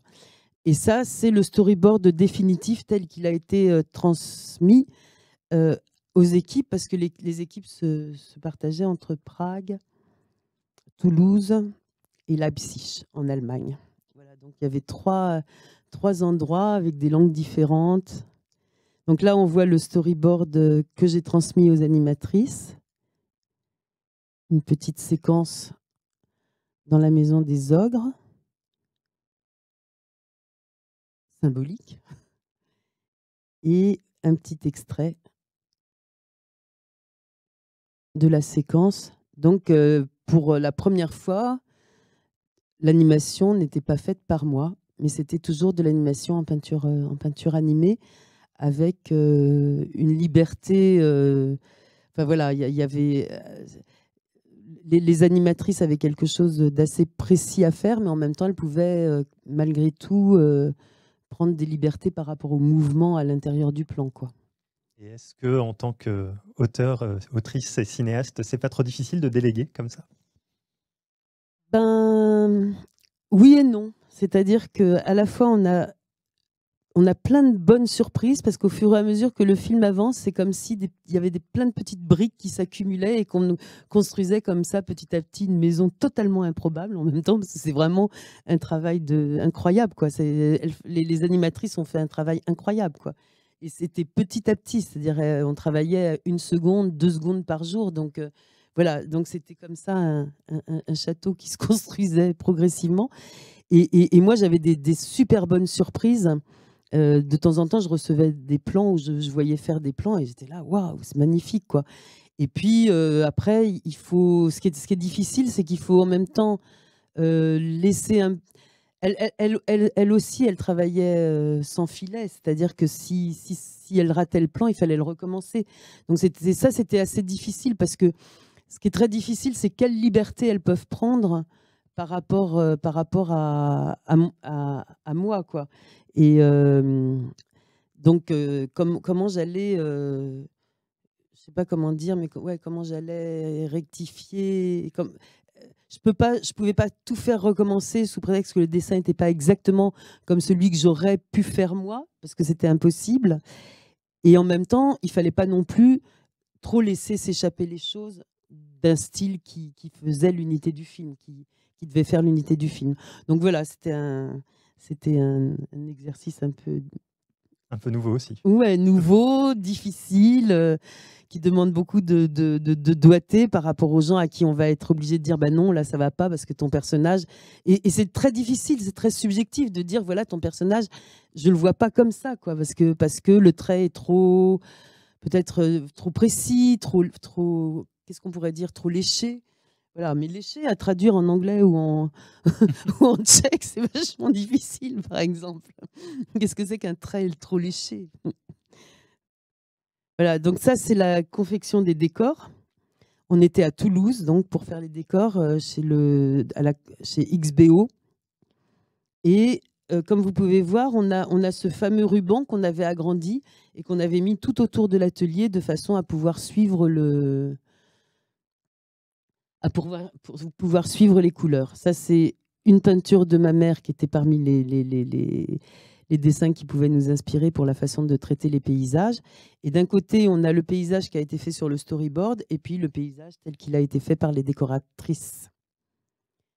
Voilà. Et à chaque fois, on a essayé de faire des petits, des petits, euh, des petits croquis, des pochades. Ça s'appelle des petites pochades des différentes scènes, des scènes importantes pour que on reste bien dans les couleurs que, que, que, je souhaitais. Donc avec euh, euh, les chefs décoratrices, c'était euh, Margot du Seigneur et Fabienne Wagner. Voilà. Donc ça, c'est les pochades qui sont suivies par les décors tels qu'ils ont été réalisés après par les décoratrices. Et là, on a les pochades aussi et quelques images qui se situent dans le décor qui a été réalisé. Voilà. Un petit extrait de la traversée.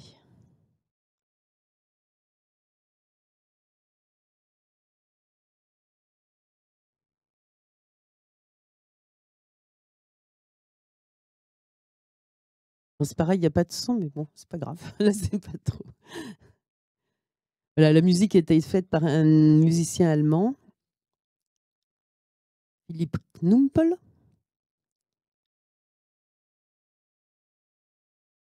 Là, quelle indication tu donnes, par exemple, aux musiciens pendant ce film?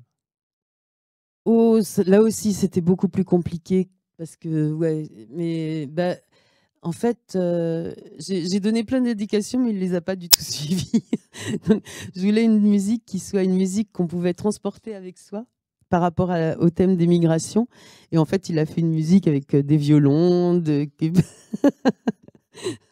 mais il y a quand même quelques instruments comme la clarinette qui- effectivement accompagnent le film. Mais c'est vrai que c'était un peu je crois qu'il avait son idée de la musique et voilà, on, travaille ensemble. Et puis ensuite, on a fait un très très gros travail euh, de, de- montage avec, euh, avec ma monteuse euh, Nassim. Et je vais, voilà, je vais, avoir, je vais avoir un trou pour son nom, mais c'est pas grave. Et, où elle on a, et puis Julie Dupré, et on a beaucoup travaillé aussi sur, sur la façon de, de- mettre la musique dans le, dans le film. Alors ça, c'est les décors donc, qui étaient faits euh, sur des papiers de soie et sur des cellulos. Les personnages, on s'est beaucoup inspiré euh, du carn- des carnets et des dessins euh, de ma mère qu'elle faisait donc quand elle avait euh, 16 ans pour, pour créer les personnages du film. Donc on a à la fois là le dessin original de ma grand-mère, donc de ma mère dessinant sa mère à elle, le dessin euh, euh, du film et euh, le carnet de croquis de Kiona, dans lequel on voit justement euh, euh, la, même, euh, la même personne, mais un peu transformée pour qu'elle ressemble aussi au personnage du film.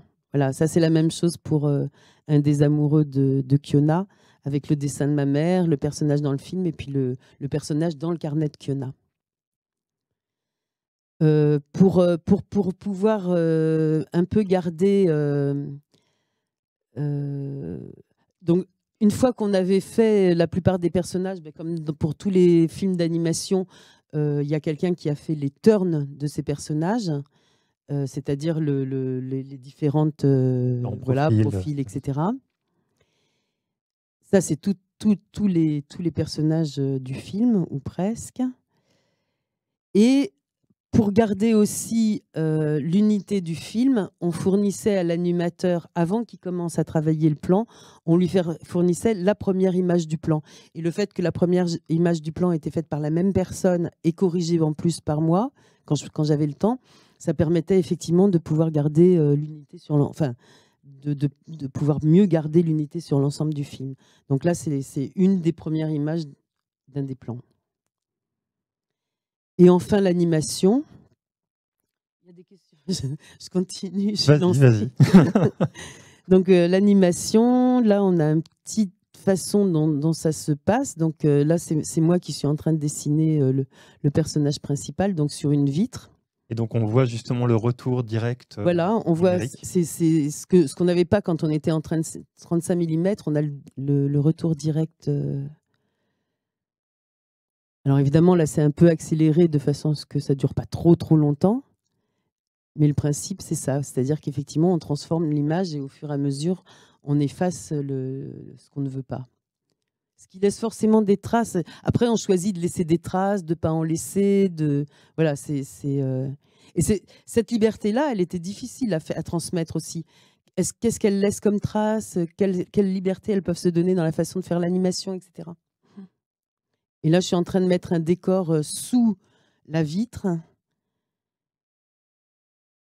Et c'est comme ça donc qu'a été fait le film avec des décors qui étaient sous une première vitre, sur une première vitre, et l'animation qui était faite sur, sur les vitres qui étaient au-dessus.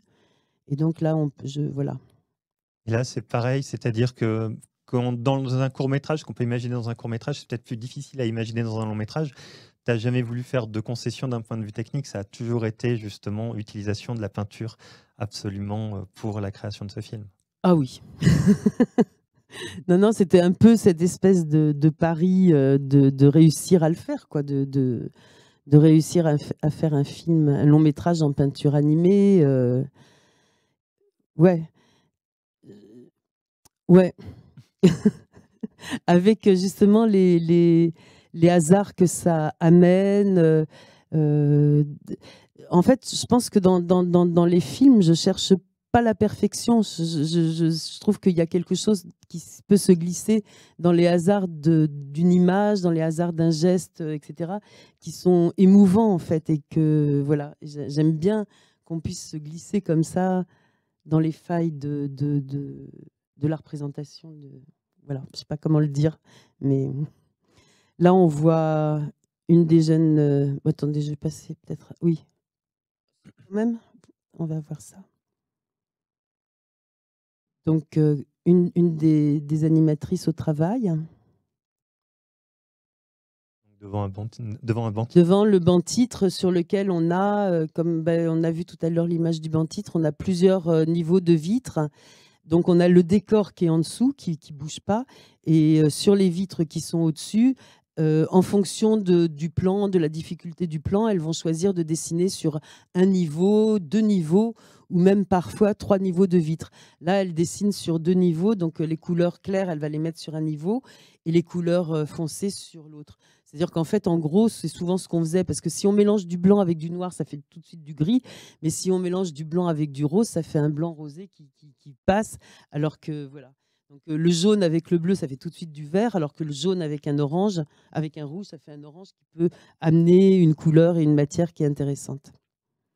Donc voilà, souvent ça se partageait comme ça, mais après les, animatrices ont trouvé leur façon de faire, mais c'était très difficile. hein, je veux dire, c'était vraiment. J'ai beaucoup d'admiration pour le travail qu'elles ont fait parce qu'elles ont travaillé euh, en, Tchéquie, par exemple, elles, étaient à 5 et elles ont travaillé euh, 18 mois euh, sur le film en, Ré- en République tchèque, euh, en France 6 mois et, en Allemagne, euh, elles étaient 3, elles ont travaillé presque un an. Alors bien sûr, il y a le travail des voix. Donc euh, les, les- voix sont faites. euh, alors il y a une première, euh, des premières voix témoins qui sont faites pour faire le storyboard et pour faire l'animatique, c'est-à-dire le brouillon du film. Et on a besoin d'avoir les voix pour avoir à peu près le temps des, plans. Et ensuite, il y a une deuxième, euh, avant de commencer l'animation, euh, on, fait jouer euh, les comédiens de façon à ce que l'animation soit faite sur la voix des comédiens. Donc là, en l'occurrence, c'était Serge Avedikian qui faisait John, Yon, pardon, le méchant. Et là, c'est pareil que pour un film en prise de vue réelle, c'est-à-dire qu'il y a un casting de voix qui est fait. Absolument. Alors, on n'entend pas le son, donc je passe vite parce que ça sert à rien. Et donc là, c'est un autre personnage euh, qui est fait par euh, Aline Afanoukoé. Ah si, peut-être qu'on entendait? Non, je crois qu'on n'entendait pas.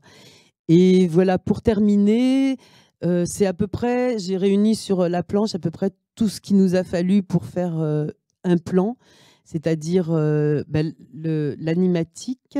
Je pense que voilà, l'animatique que vous pouvez voir à droite, là, avec le personnage qui bouge.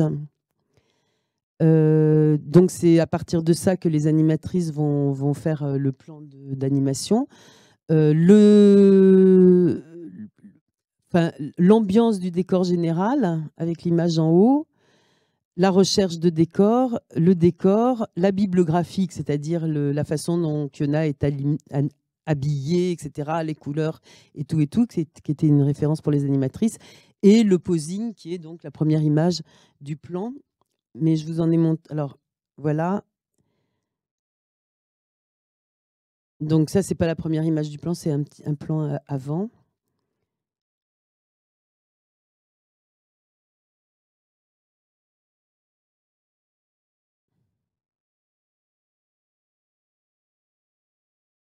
Voilà. Et après ce plan-là, on a le, le plan, mais qui commence pas exactement parce qu'ensuite, euh, au montage, on peut couper des images. euh, voilà, il y, y a quand même un montage qui se fait une fois, même si l'animatique est relativement précis, il y a quand même un montage qui se fait en fonction de ce qui a été fait vraiment euh, sous la caméra. Il y a des plans qui sont plus longs, des plans qui sont moins longs. Enfin, ça, ça a pu effectivement bouger un petit peu. Commence à travailler avec ta monteuse lors de l'animatique et elle revient lors du montage final. Finalement.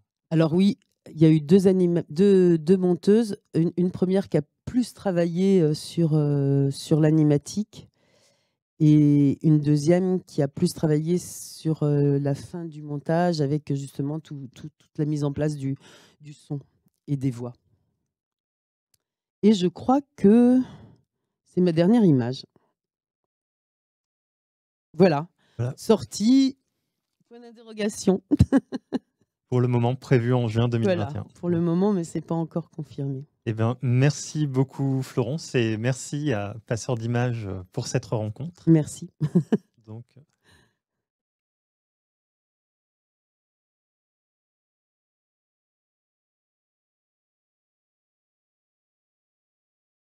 Pardon? Bah, Là, oui, j'ai- mis ma dernière image en tout cas. Alors, bah, merci beaucoup euh, Nicolas, merci Florence. On va vous garder encore un peu avec nous sur scène puisqu'il y aura quelques questions euh, juste après euh, donc, la présentation de la revue du cinéma d'animation Blink Blank. Et euh, nous avons la chance d'avoir donc euh, le, le cofondateur euh, de la revue avec nous, qui est euh, donc Xavier Kawatopor, comme je vous l'avais annoncé tout à l'heure. Et on est d'autant plus heureux euh, de l'accueillir pour présenter euh, cette revue. Alors déjà qu'on trouve la revue absolument euh, splendide, mais que hum, Xavier a aussi écrit des cahiers de notes pour euh, des films d'école et cinéma. Et donc euh, voilà, c'est toujours un plaisir de pouvoir poursuivre comme ça un compagnonnage. Donc euh, je laisse la parole à Xavier. Et on se retrouve après pour les questions. Merci beaucoup et pour cette invitation et bonjour à vous, bonjour Florence et à, Nicolas en, en particulier. Euh, donc, euh, bah, je suis très heureux de vous présenter euh, effectivement cette, revue, Bling Blanc, la revue du film d'animation. Alors, pour accompagner mon propos, j'ai quelques, quelques images qui vous feront découvrir cette, cette revue. D'abord, la, la- la première chose importante, c'est peut-être de expliquer pourquoi on, on a euh, euh, créé cette, euh, cette revue. Et bien, tout simplement parce qu'il n'existait pas de revue euh, sur le, le film d'animation. Il n'existait pas de, dans, un pays aussi euh, cinéphile que, la France, il n'existait pas de, euh, périodique consacré à l'art de l'animation, à un moment où euh, eh bien, l'animation redouble d'inventivité, est présente sur euh, tous, les, tous les supports, conquiert tous les publics. Il nous semblait vraiment important de pouvoir accompagner cette, cette, ce développement de, de l'animation. Alors, la revue euh, Bling Blanc, euh, c'est tout d'abord une... euh, je ne sais pas si les images que j'ai préparées passent, parce que c'est bon je ne me rends pas compte. Je, vois mon, visage, mais je ne vois pas forcément les images. Donc, on, on peut passer les... Voilà, s'il vous plaît. Donc, on va passer les deux premières... La première diapositive, la suivante, s'il vous plaît. Merci. Voilà, donc euh, Bling Blanc, c'est la première revue francophone consacrée aux films d'animation. Euh, c'est une revue de type euh, MOOC, c'est-à-dire que c'est un, livre, un livre et à la fois une, revue, un objet, un bel objet qui, sort deux fois par an et qui fait 160 pages et que l'on a envie de garder. L'idée, c'est vraiment de créer un bel objet de, collection qui soit à la fois un, qui porte à la fois un regard critique euh, sur l'animation, un regard documenté sur l'animation, euh, mais aussi qui rende euh, hommage à l'animation sous toutes ses formes. Donc on, s'intéresse aussi bien au cinéma, à la série, euh, aux productions euh, audiovisuelles, aussi à l'animation lorsqu'elle se, euh, frotte à d'autres arts comme euh, les arts de la scène ou euh, l'art contemporain en particulier. Donc l'animation sous tous les formats. Suivante. Pour euh, réaliser cette, cette revue, euh, on a euh, réuni un comité de rédaction euh, qui regroupe un certain nombre des meilleurs spécialistes du, du- film d'animation. Euh, mais aussi, on a souhaité que cette revue soit ouverte à la contribution d'artistes. Il était important aussi pour nous que euh, les réalisateurs de, de- de l'animation, ceux qui font des films, puissent aussi s'exprimer à la fois sur leurs films euh, dans le cadre d'interviews, d'entretiens, mais aussi euh, nous faire part de leur conception de l'animation. Donc, dans chaque numéro, il y a euh, euh, des textes, on va dire, théoriques euh, qui sont euh, euh, nés de, la plume de, réalisateurs, comme par exemple dans le premier numéro, Michael Dudok de Witt, ou, euh, la publication d'un texte inédit de, de Takahata qui explique euh, son rapport au, réel. Et puis, comme je le disais tout à l'heure, pour nous, il était important que cette revue soit un, bel objet. Donc, pour, euh, pour ce faire, nous nous sommes euh, associés à un studio graphique qui s'appelle Artland Villa et qui a créé une, une maquette que, que je vous dévoilerai tout à l'heure, qui est une maquette très visuelle avec une place importante faite à l'iconographie. Voilà, donc euh, Bling Blanc, c'est ça, c'est à la fois c'est une revue copieuse avec à la fois des textes de fond, une place vraiment importante donnée au texte pour approfondir les suje- sujets, et aussi une place importante euh, donnée à l'iconographie. Suivante, s'il vous plaît. Euh, voilà, ce qu'il me, semble aussi important de dire, c'est que c'est une coédition. Nous sommes à, trois à porter ce, projet. Donc la Nef Animation que je représente, qui est une association dédiée à la recherche et la création dans le domaine du, film d'animation. La Cinémathèque québécoise, qui est un grand lieu euh, à la fois d'archives, de conservation et d'études du cinéma, et notamment du cinéma d'animation, dont le, directeur est Marcel Jean, qui est par ailleurs le, le délégué artistique du Festival d'Annecy. Et puis nous nous sommes associés à un jeune éditeur euh, en région Pays de la Loire, qui est notre région de, rattachement, WARM, euh, éditeur indépendant, euh, qui travaille très bien et qui travaille dans une logique, on va dire, de, circuit court, dans une logique de qualité, avec euh, des interlocuteurs du territoire, aussi bien pour l'impression notamment. Donc voilà, tout est fait d'une façon, on va dire, la plus vertueuse possible, dans un esprit effectivement de créer à la fois un bel objet et de garder une, une indépendance totale en termes éditorial. Suivante. Voilà, une, en résumé, la, fiche technique, euh, on peut peut-être la mettre en grand de, euh, de, de Bling Blanc. Donc c'est un, un format euh, relativement petit, donc qui peut se mettre dans un sac, se lire dans le, dans le métro et ailleurs. C'est 160 pages, c'est deux numéros par an, donc un premier numéro qui paraît au printemps euh, et l'autre euh, à l'automne, au moment de la, rentrée cinématographique. C'est une revue qui paraît euh, en papier, au prix unitaire de 20 euros. Il y a aussi une, édition numérique. Et puis, c'est un tirage aujourd'hui de, de 2000 exemplaires. Qui rend cette revue à la fois disponible dans les librairies dès qu'elles seront réouvertes, mais vous pouvez déjà les commander sur place comme, comme vous savez, et puis aussi euh, en ligne et sur abonnement. Alors euh, l'une des façons euh, importantes à la fois de ne pas rater un numéro et à la fois de soutenir la, la, revue, c'est évidemment de, de s'abonner pour, pour les deux numéros de, de l'année. Suivante, s'il vous plaît. Voilà, donc aujourd'hui, il y a deux numéros qui sont parus. Le premier numéro est paru au début de l'année avec en couverture, ben, vous l'avez reconnu, une image de La Traversée de Florence Miaille, le, le film tant attendu. Euh, donc on est très heureux que Florence nous ait fait l'honneur de la première couverture de, de, la revue. Le, film avait aussi commencé son aventure à l'abbaye de Fontevraud où est basée la nef animation, donc on est, on est très heureux de cette, de cette fidélité. Et le deuxième numéro, donc, qui est paru au mois d'octobre.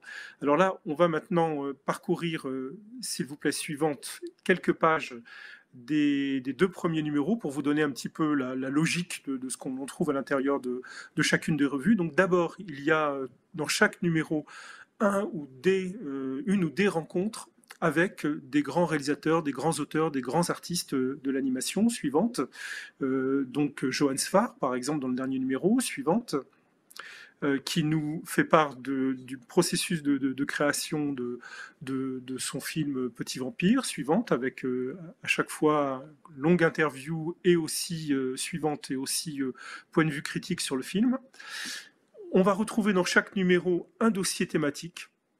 Alors on a choisi pour ces dossiers de témoigner dans la façon de la façon dont l'animation s'empare aujourd'hui de sujets de société, dont elle est un regard sur le monde contemporain. Il nous semble que c'est l'une des grandes caractéristiques de l'animation contemporaine, de parler de notre, du monde dans lequel nous vivons. Donc le premier numéro, premier dossier a été consacré au thème, on va dire, d'ouverture, qui était l'animation à l'âge adulte, avec un point d'interrogation. Et puis ensuite, on va décliner euh, à chaque fois euh, un thème particulier. Donc euh, dans le dernier numéro de Bling Blanc, celui de cet automne, on a fait un travail pour montrer la relation très étroite et très pionnière qu'a qu eu l'animation avec le thème de la sensibilisation à l'écologie. Suivante. Donc un balayage historique suivante.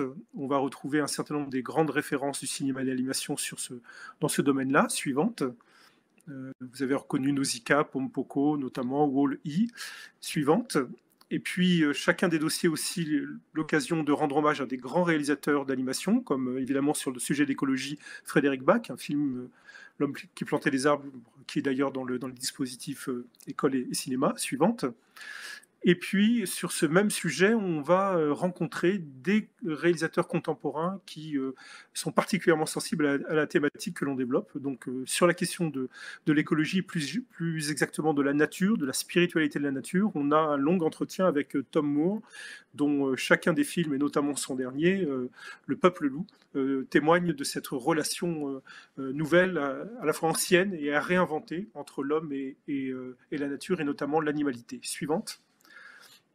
Voilà, donc vous voyez à chaque fois ben, des croquis, des, éléments euh, préparatoires qui accompagnent les propos de, l'auteur sur la thématique suivante. On a aussi des films qui, sont en train de se faire, qui ne sont pas encore sortis, qui sont des projets plus lointains, comme par exemple Claude Barras, le réalisateur euh, de Ma vie de courgette, qui nous parle là en avant-première de son prochain long métrage, qui sera aussi euh, un film traversé par cette question de l'écologie chez les peuples premiers. Suivante. Voilà. Ensuite, on a une partie qui est consacrée, je vais aller plus vite aux films et aux séries, c'est-à-dire à l'actualité la, de l'animation. Voilà, donc on peut parcourir ces quelques pages, je vous laisse faire. Là, vous avez un entretien avec euh, Rémi Chaillet sur euh, Calamity, donc euh, par exemple, dans le domaine des longs métrages, euh, une critique de Marco de Blois sur euh, Joseph. Et puis voilà, là on est dans le domaine de la série, euh, avec une critique de, Marcel Jean sur The Midnight Gospel, qui est une des, séries américaines indépendantes les plus intéressantes actuellement. Suivante, on va retrouver aussi le court métrage, j'en ai pas parlé tout à l'heure, mais le court métrage a une place importante dans l'animation et donc dans la revue euh, Bling Blanc. Donc là, c'est le dernier film de Théodore Youchef. Suivante. Le dossier, euh, lui, c'est un dossier consacré à l'actualité de, on va dire, du patrimoine, c'est-à-dire les films anciens qui font l'objet ou de restauration ou de nouvelles, euh, de nouvelles vies à travers des, ce qu'on appelle aujourd'hui trivialement c'est-à-dire des, des- remakes. Euh, donc, par exemple, suivante, on, revient sur la genèse des, des Looney Tunes au moment où la Warner euh, crée une nouvelle série de, très grande qualité. Suivante, on parle de, on salue l'édition en DVD, euh, enfin, d'un des grands euh, chefs-d'œuvre de Trenka, Les vieilles légendes tchèques. Suivante, où on consacre un dossier au personnage de Lupin III, le petit-fils putatif d'Arsène Lupin, notamment mis en scène par Miyazaki, qui fait l'objet d'une nouvelle version en 3D. Voilà. Les lecteurs pourront ensuite entrer dans les coulisses de la, création en tant que telle à travers une partie qui s'appelle Work in Progress, où là, on, eh bien, la parole est donnée aux réalisateurs, aux réalisatrices en train de faire euh, des films.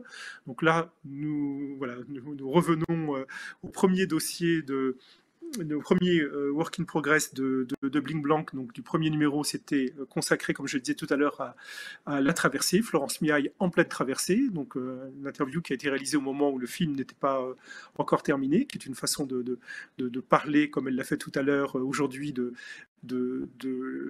l'aventure au long cours de, ce film et, de son processus de création. On peut, on peut euh, dérouler différentes euh, images. Voilà, vous allez reconnaître euh, suivante, reconnaître un certain nombre de travaux préparatoires.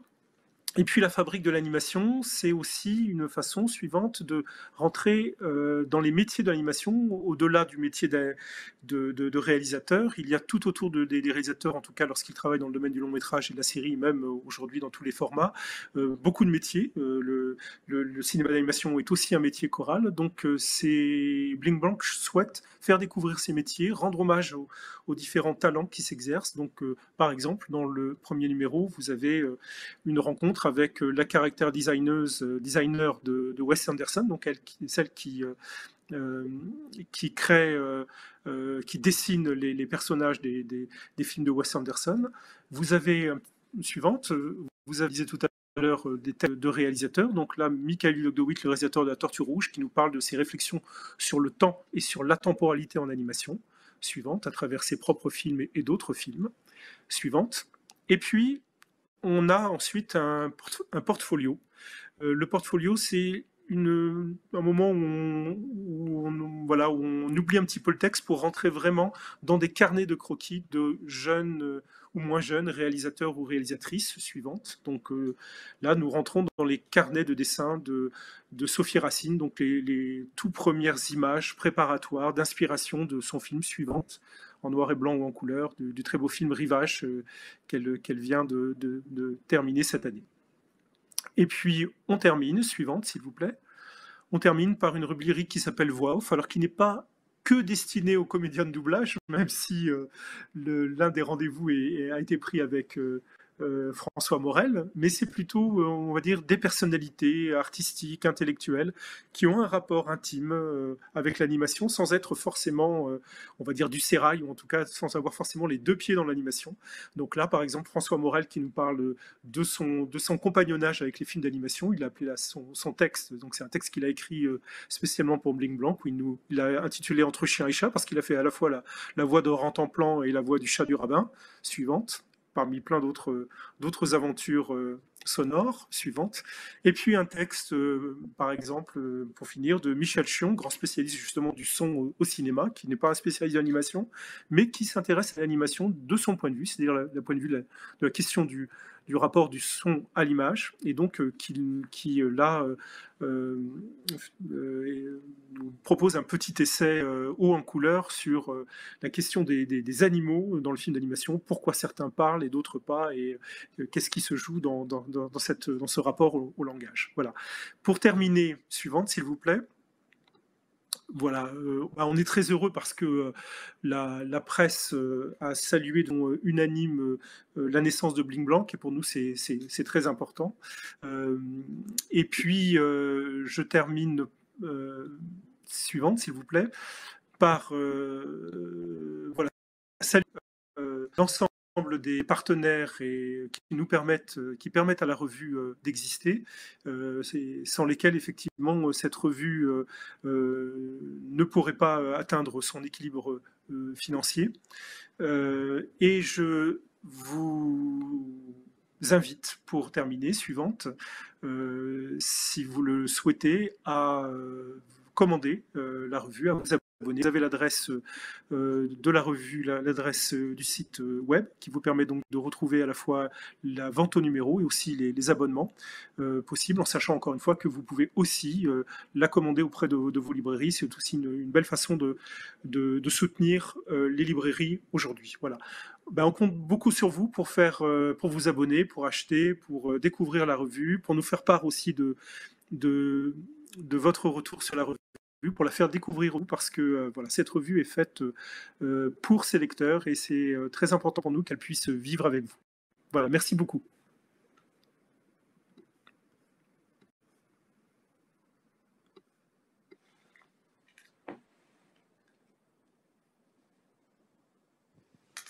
Merci beaucoup Xavier, Euh, c'était euh, absolument passionnant et euh, effectivement euh, derrière vos écrans, n'hésitez pas euh, à aller euh, commander euh, les numéros, vous abonner, euh, c'est bientôt Noël en plus, donc euh, formidable. Euh, on va revenir maintenant euh, Merci Xavier. à Florence euh, et euh, lui poser euh, donc les, les quelques questions euh, que, que vous nous avez posées euh, durant euh, la durée de la masterclass euh, dans le chat. Euh, alors juste dire merci euh, pour tous les commentaires euh, qui étaient extrêmement élogieux. Donc je, je- je transmets à Florence parce que évidemment elle, elle n'a pas vu le, le cours de vos discussions et il y a eu énormément de, de commentaires qui, de, de personnes qui découvraient votre œuvre et qui étaient absolument subjuguées par votre travail. Donc euh, donc voilà, je, vous, retransmets ça. Et, et Merci donc, de m'en faire part. on va, on va prendre donc une première question euh, de quelqu'un qui, qui vous disait donc il semblerait qu'il y ait une influence de Matisse sur le court métrage Hammam. Est-ce le cas? Oui. non, c'est vrai que j'ai un peu parlé des influences que j'avais dans, parmi les réalisateurs d'animation, qui sont peut-être moins connus que, les peintres, et puis de ma mère qui est, qui, qui- voilà, qui est aussi moins connue que Matisse. Mais, mais, euh, oui, oui, il y y a une influence de Matisse, il y a des influences euh, euh, de Gauguin. Je crois qu'il y, a beaucoup d'influences de, des peintres de la couleur, en tout cas, euh, plus que des peintres de, de l'ombre et des lumières. voilà, ouais, bien sûr. Euh, Chagall, Matisse, Gauguin, les fauves. On a ensuite Faites-vous- quelqu'un qui nous demandait si parfois vous faisiez l'inverse, c'est-à-dire illustrer des textes de poètes, de dramaturges, de chanteurs ou autres. Est-ce qu'il vous était arrivé donc d'illustrer euh, d'autres textes? Euh, non, non. En fait, euh, j'ai commencé à faire de l'illustration quand j'ai, enfin, ap- après être sortie des Arts Déco, j'avais fait un peu d'illustration, mais pas pour des livres. Et à un moment, j'ai failli avoir une. Mais c'était avant que je fasse de l'animation. En fait, euh, il y avait une éditrice qui. J'avais commencé à travailler sur. euh, sur, euh, sur une idée d'édition de livres et puis finalement ça s'est pas fait. J'en ai jamais fait. C'est peut-être quelque chose que je ferai une fois que j'aurai fini de faire des films. En même temps, les films, ça prend, ça prend beaucoup, beaucoup de, beau- beaucoup de temps, beaucoup d'énergie. À un moment, je voulais aussi plus passer de la peinture à l'animation, enfin de faire aussi des allers-retours entre la peinture et l'animation. Je le fais un petit peu, mais pas vrai. Enfin, c'est difficile, quoi. C'est difficile de, de passer de l'un à l'autre. Je l'ai fait un peu, mais non. Alors, euh, une question qui nous demande, je crois, quel était l'apport du pastel sec par rapport au pastel gras, qui donne aussi des ambiances nuancées intéressantes. Alors en fait, euh, le, le- le pastel gras, c'est euh, Parce que le, pastel sec, en fait, comme je procède par recouvrement, euh, c'est plus facile de recouvrir au pastel sec qu'au pastel gras. C'est-à-dire qu'effectivement, euh, le pastel gras, quand on va revenir avec du pastel gras sur du pastel gras, ça va plus se mélanger. Euh, et du coup, on arrive, par exemple, si je veux faire bouger un bras blanc au pastel gras sur un fond rouge, très vite, euh, le blanc va finir par disparaître au profit d'un espèce de mélange de rouge et de blanc. Alors que le pastel sec, on peut arriver avec quelque chose de plus... Parce que la, matière, le pastel s'écrase, le pigment s'écrase, et donc on arrive avec quelque chose de plus... Alors ça se mélange un petit peu, mais ça se mélangerait trop au pastel gras. En fait, le pastel gras, il faudrait le travailler en le, en le grattant sur un support ou quelque chose comme ça. Plus, mais sur une feuille de papier blanche, il va laisser des marques si on le gratte. Mais j'ai quand même des idées pour un film que je pourrais faire avec du, du pastel gras. Alors le problème du pastel gras, c'est que par exemple, ça accroche très mal sur une vitre, donc on ne peut pas le travailler sur une vitre. Le pastel sec non plus d'ailleurs. Mais euh, et le pastel sec, j'ai arrêté d'en faire parce que c'était trop. euh, au bout d'un moment, c'était trop dangereux parce que c'est que des pigments qu'on utilise. Enfin, et, et voilà, quand je travaillais par exemple euh, la mer euh, au pastel sec, au bout d'un moment, euh, tout l'atelier était recouvert de poussière bleue. Et quand je me mouchais, c'était voilà, il y avait de la poussière bleue quoi. Et comme les pigments, c'est souvent des blancs de zinc, du bleu de méthylène, etc., etc. Il y a eu un moment où je me suis dit voilà, je vais pas laisser ma santé sur mon banc titre. Donc voilà, j'ai arrêté avec le pastel sec et je pense que je ne reprendrai pas alors que c'était une des techniques que je préférais. Mais j'ai- j'ai- j'aimerais bien effectivement retrouver une façon de travailler avec le pastel gras. Mais j'ai pas encore, euh, pas encore testé un film au pastel gras. Ça va venir, je pense. Une question qui, nous, qui vous demande donc si la caméra multiplane n'aurait pas permis plus de trucage quand il n'y avait pas encore le numérique? Je, je pense que c'est une question au moment où vous, évoquiez le fait que le numérique vous avait permis de de- d'avoir des, des trucages, d'avoir plusieurs plans Oui. dans compte de quartier. Et donc, voilà. une- Oui, oui, oui, absolument. C'est, euh, voilà, oui, absolument. De toute façon, j'ai toujours un peu mélangé le numérique, les, les- les choses qui étaient faites directement sur une multiplane, euh, même pour compte de quartier. Mais euh, il y a des choses que, et, et quand, en faisant la traversée, justement, on a à chaque fois qu'on pouvait éviter de faire euh, du compositing, c'est-à-dire des, des, des couches euh, qui étaient recompositées après, à chaque fois qu'on pouvait éviter de le faire et qu'on pouvait faire tout sur, euh, sur la, la- la- la table, la multiplane, on le faisait effectivement.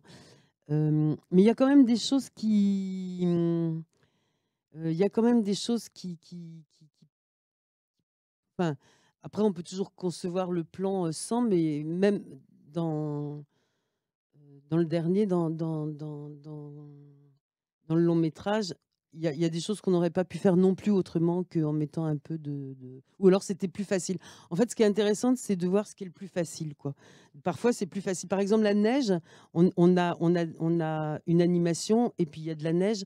La neige, c'est plus facile de la faire à part et de la rajouter ensuite euh, sur l'image plutôt que de faire la neige en même temps que l'image parce que si on rate le plan, à cause de la neige, c'est idiot, quoi. C'est bête. Donc en fait, voilà, c'est à chaque fois essayer de savoir ce qui est le plus le plus facile pour pour les animateurs et puis pour en question de temps et en question de de fabrication.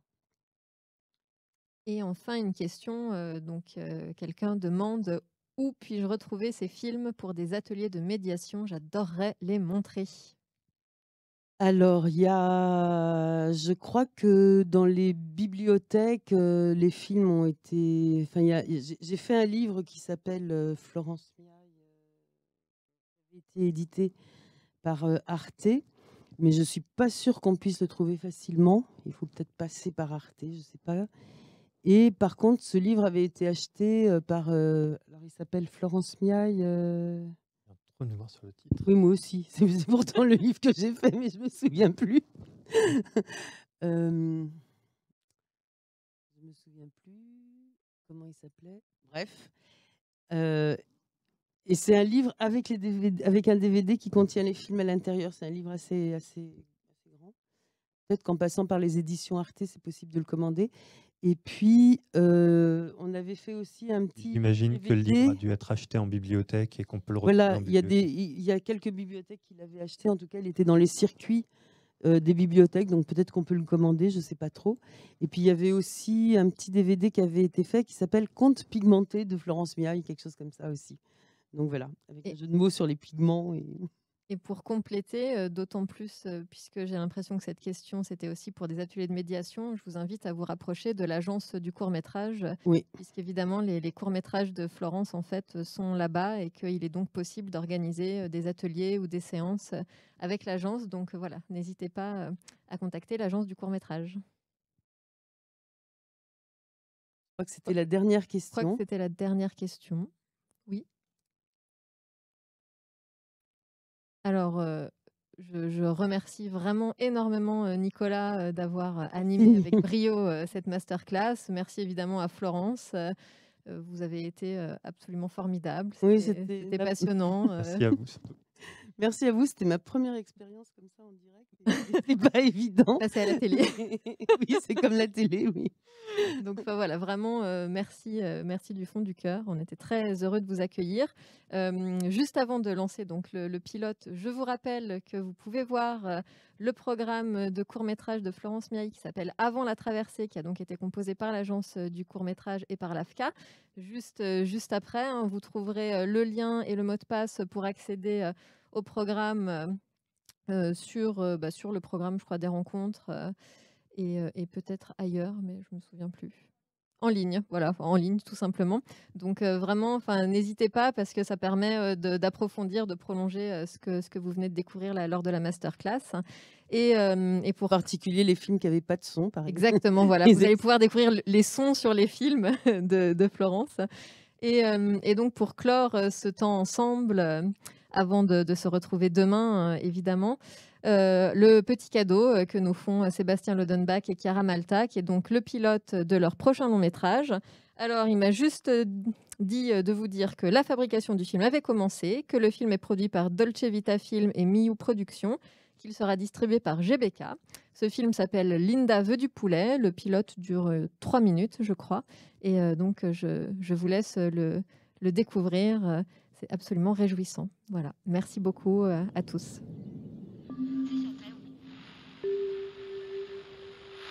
Dans la grève générale, ils ont été nombreux hier à répondre à l'appel lancé par les syndicats. Plus de 10 000 personnes ont défilé. La plupart des magasins et des services étaient fermés et les transports Alors, euh, contrairement à la poulet basquez, poulet au citron, gingembre, 5 Bon alors. épices, tahiti. Attends, attends, attends. hein. Ah, le voilà Poulet au poivron dit à la romane. Ça y est On peut y aller? Oui, alors, euh, griller avec sang le poulet afin d'éliminer le duvet et les éventuelles plumes qui pourraient subsister. Ça va, Jean-Michel? Pourquoi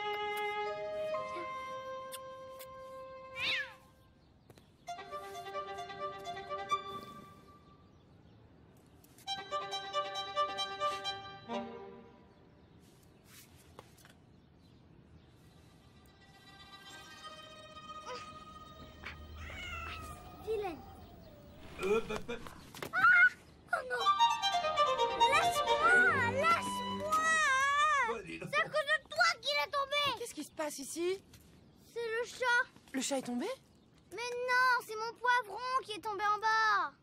Mais Linda, on en a plein des poivrons. Ah oui. Là, la volaille.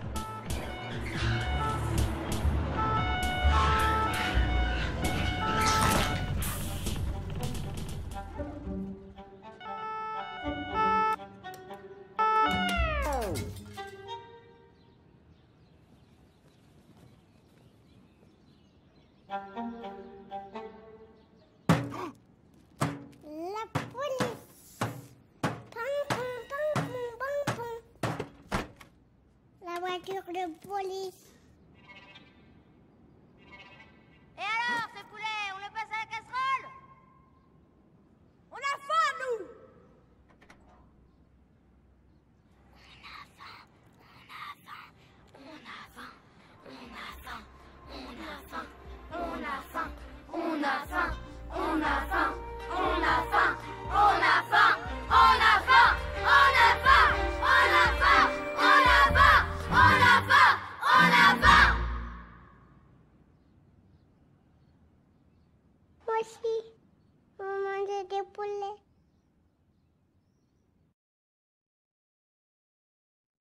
Donc voilà, euh, fin euh, de journée de ces rencontres euh, nationales pour, nous. hein. Encore une fois, vraiment, allez voir le programme de court-métrage de Florence.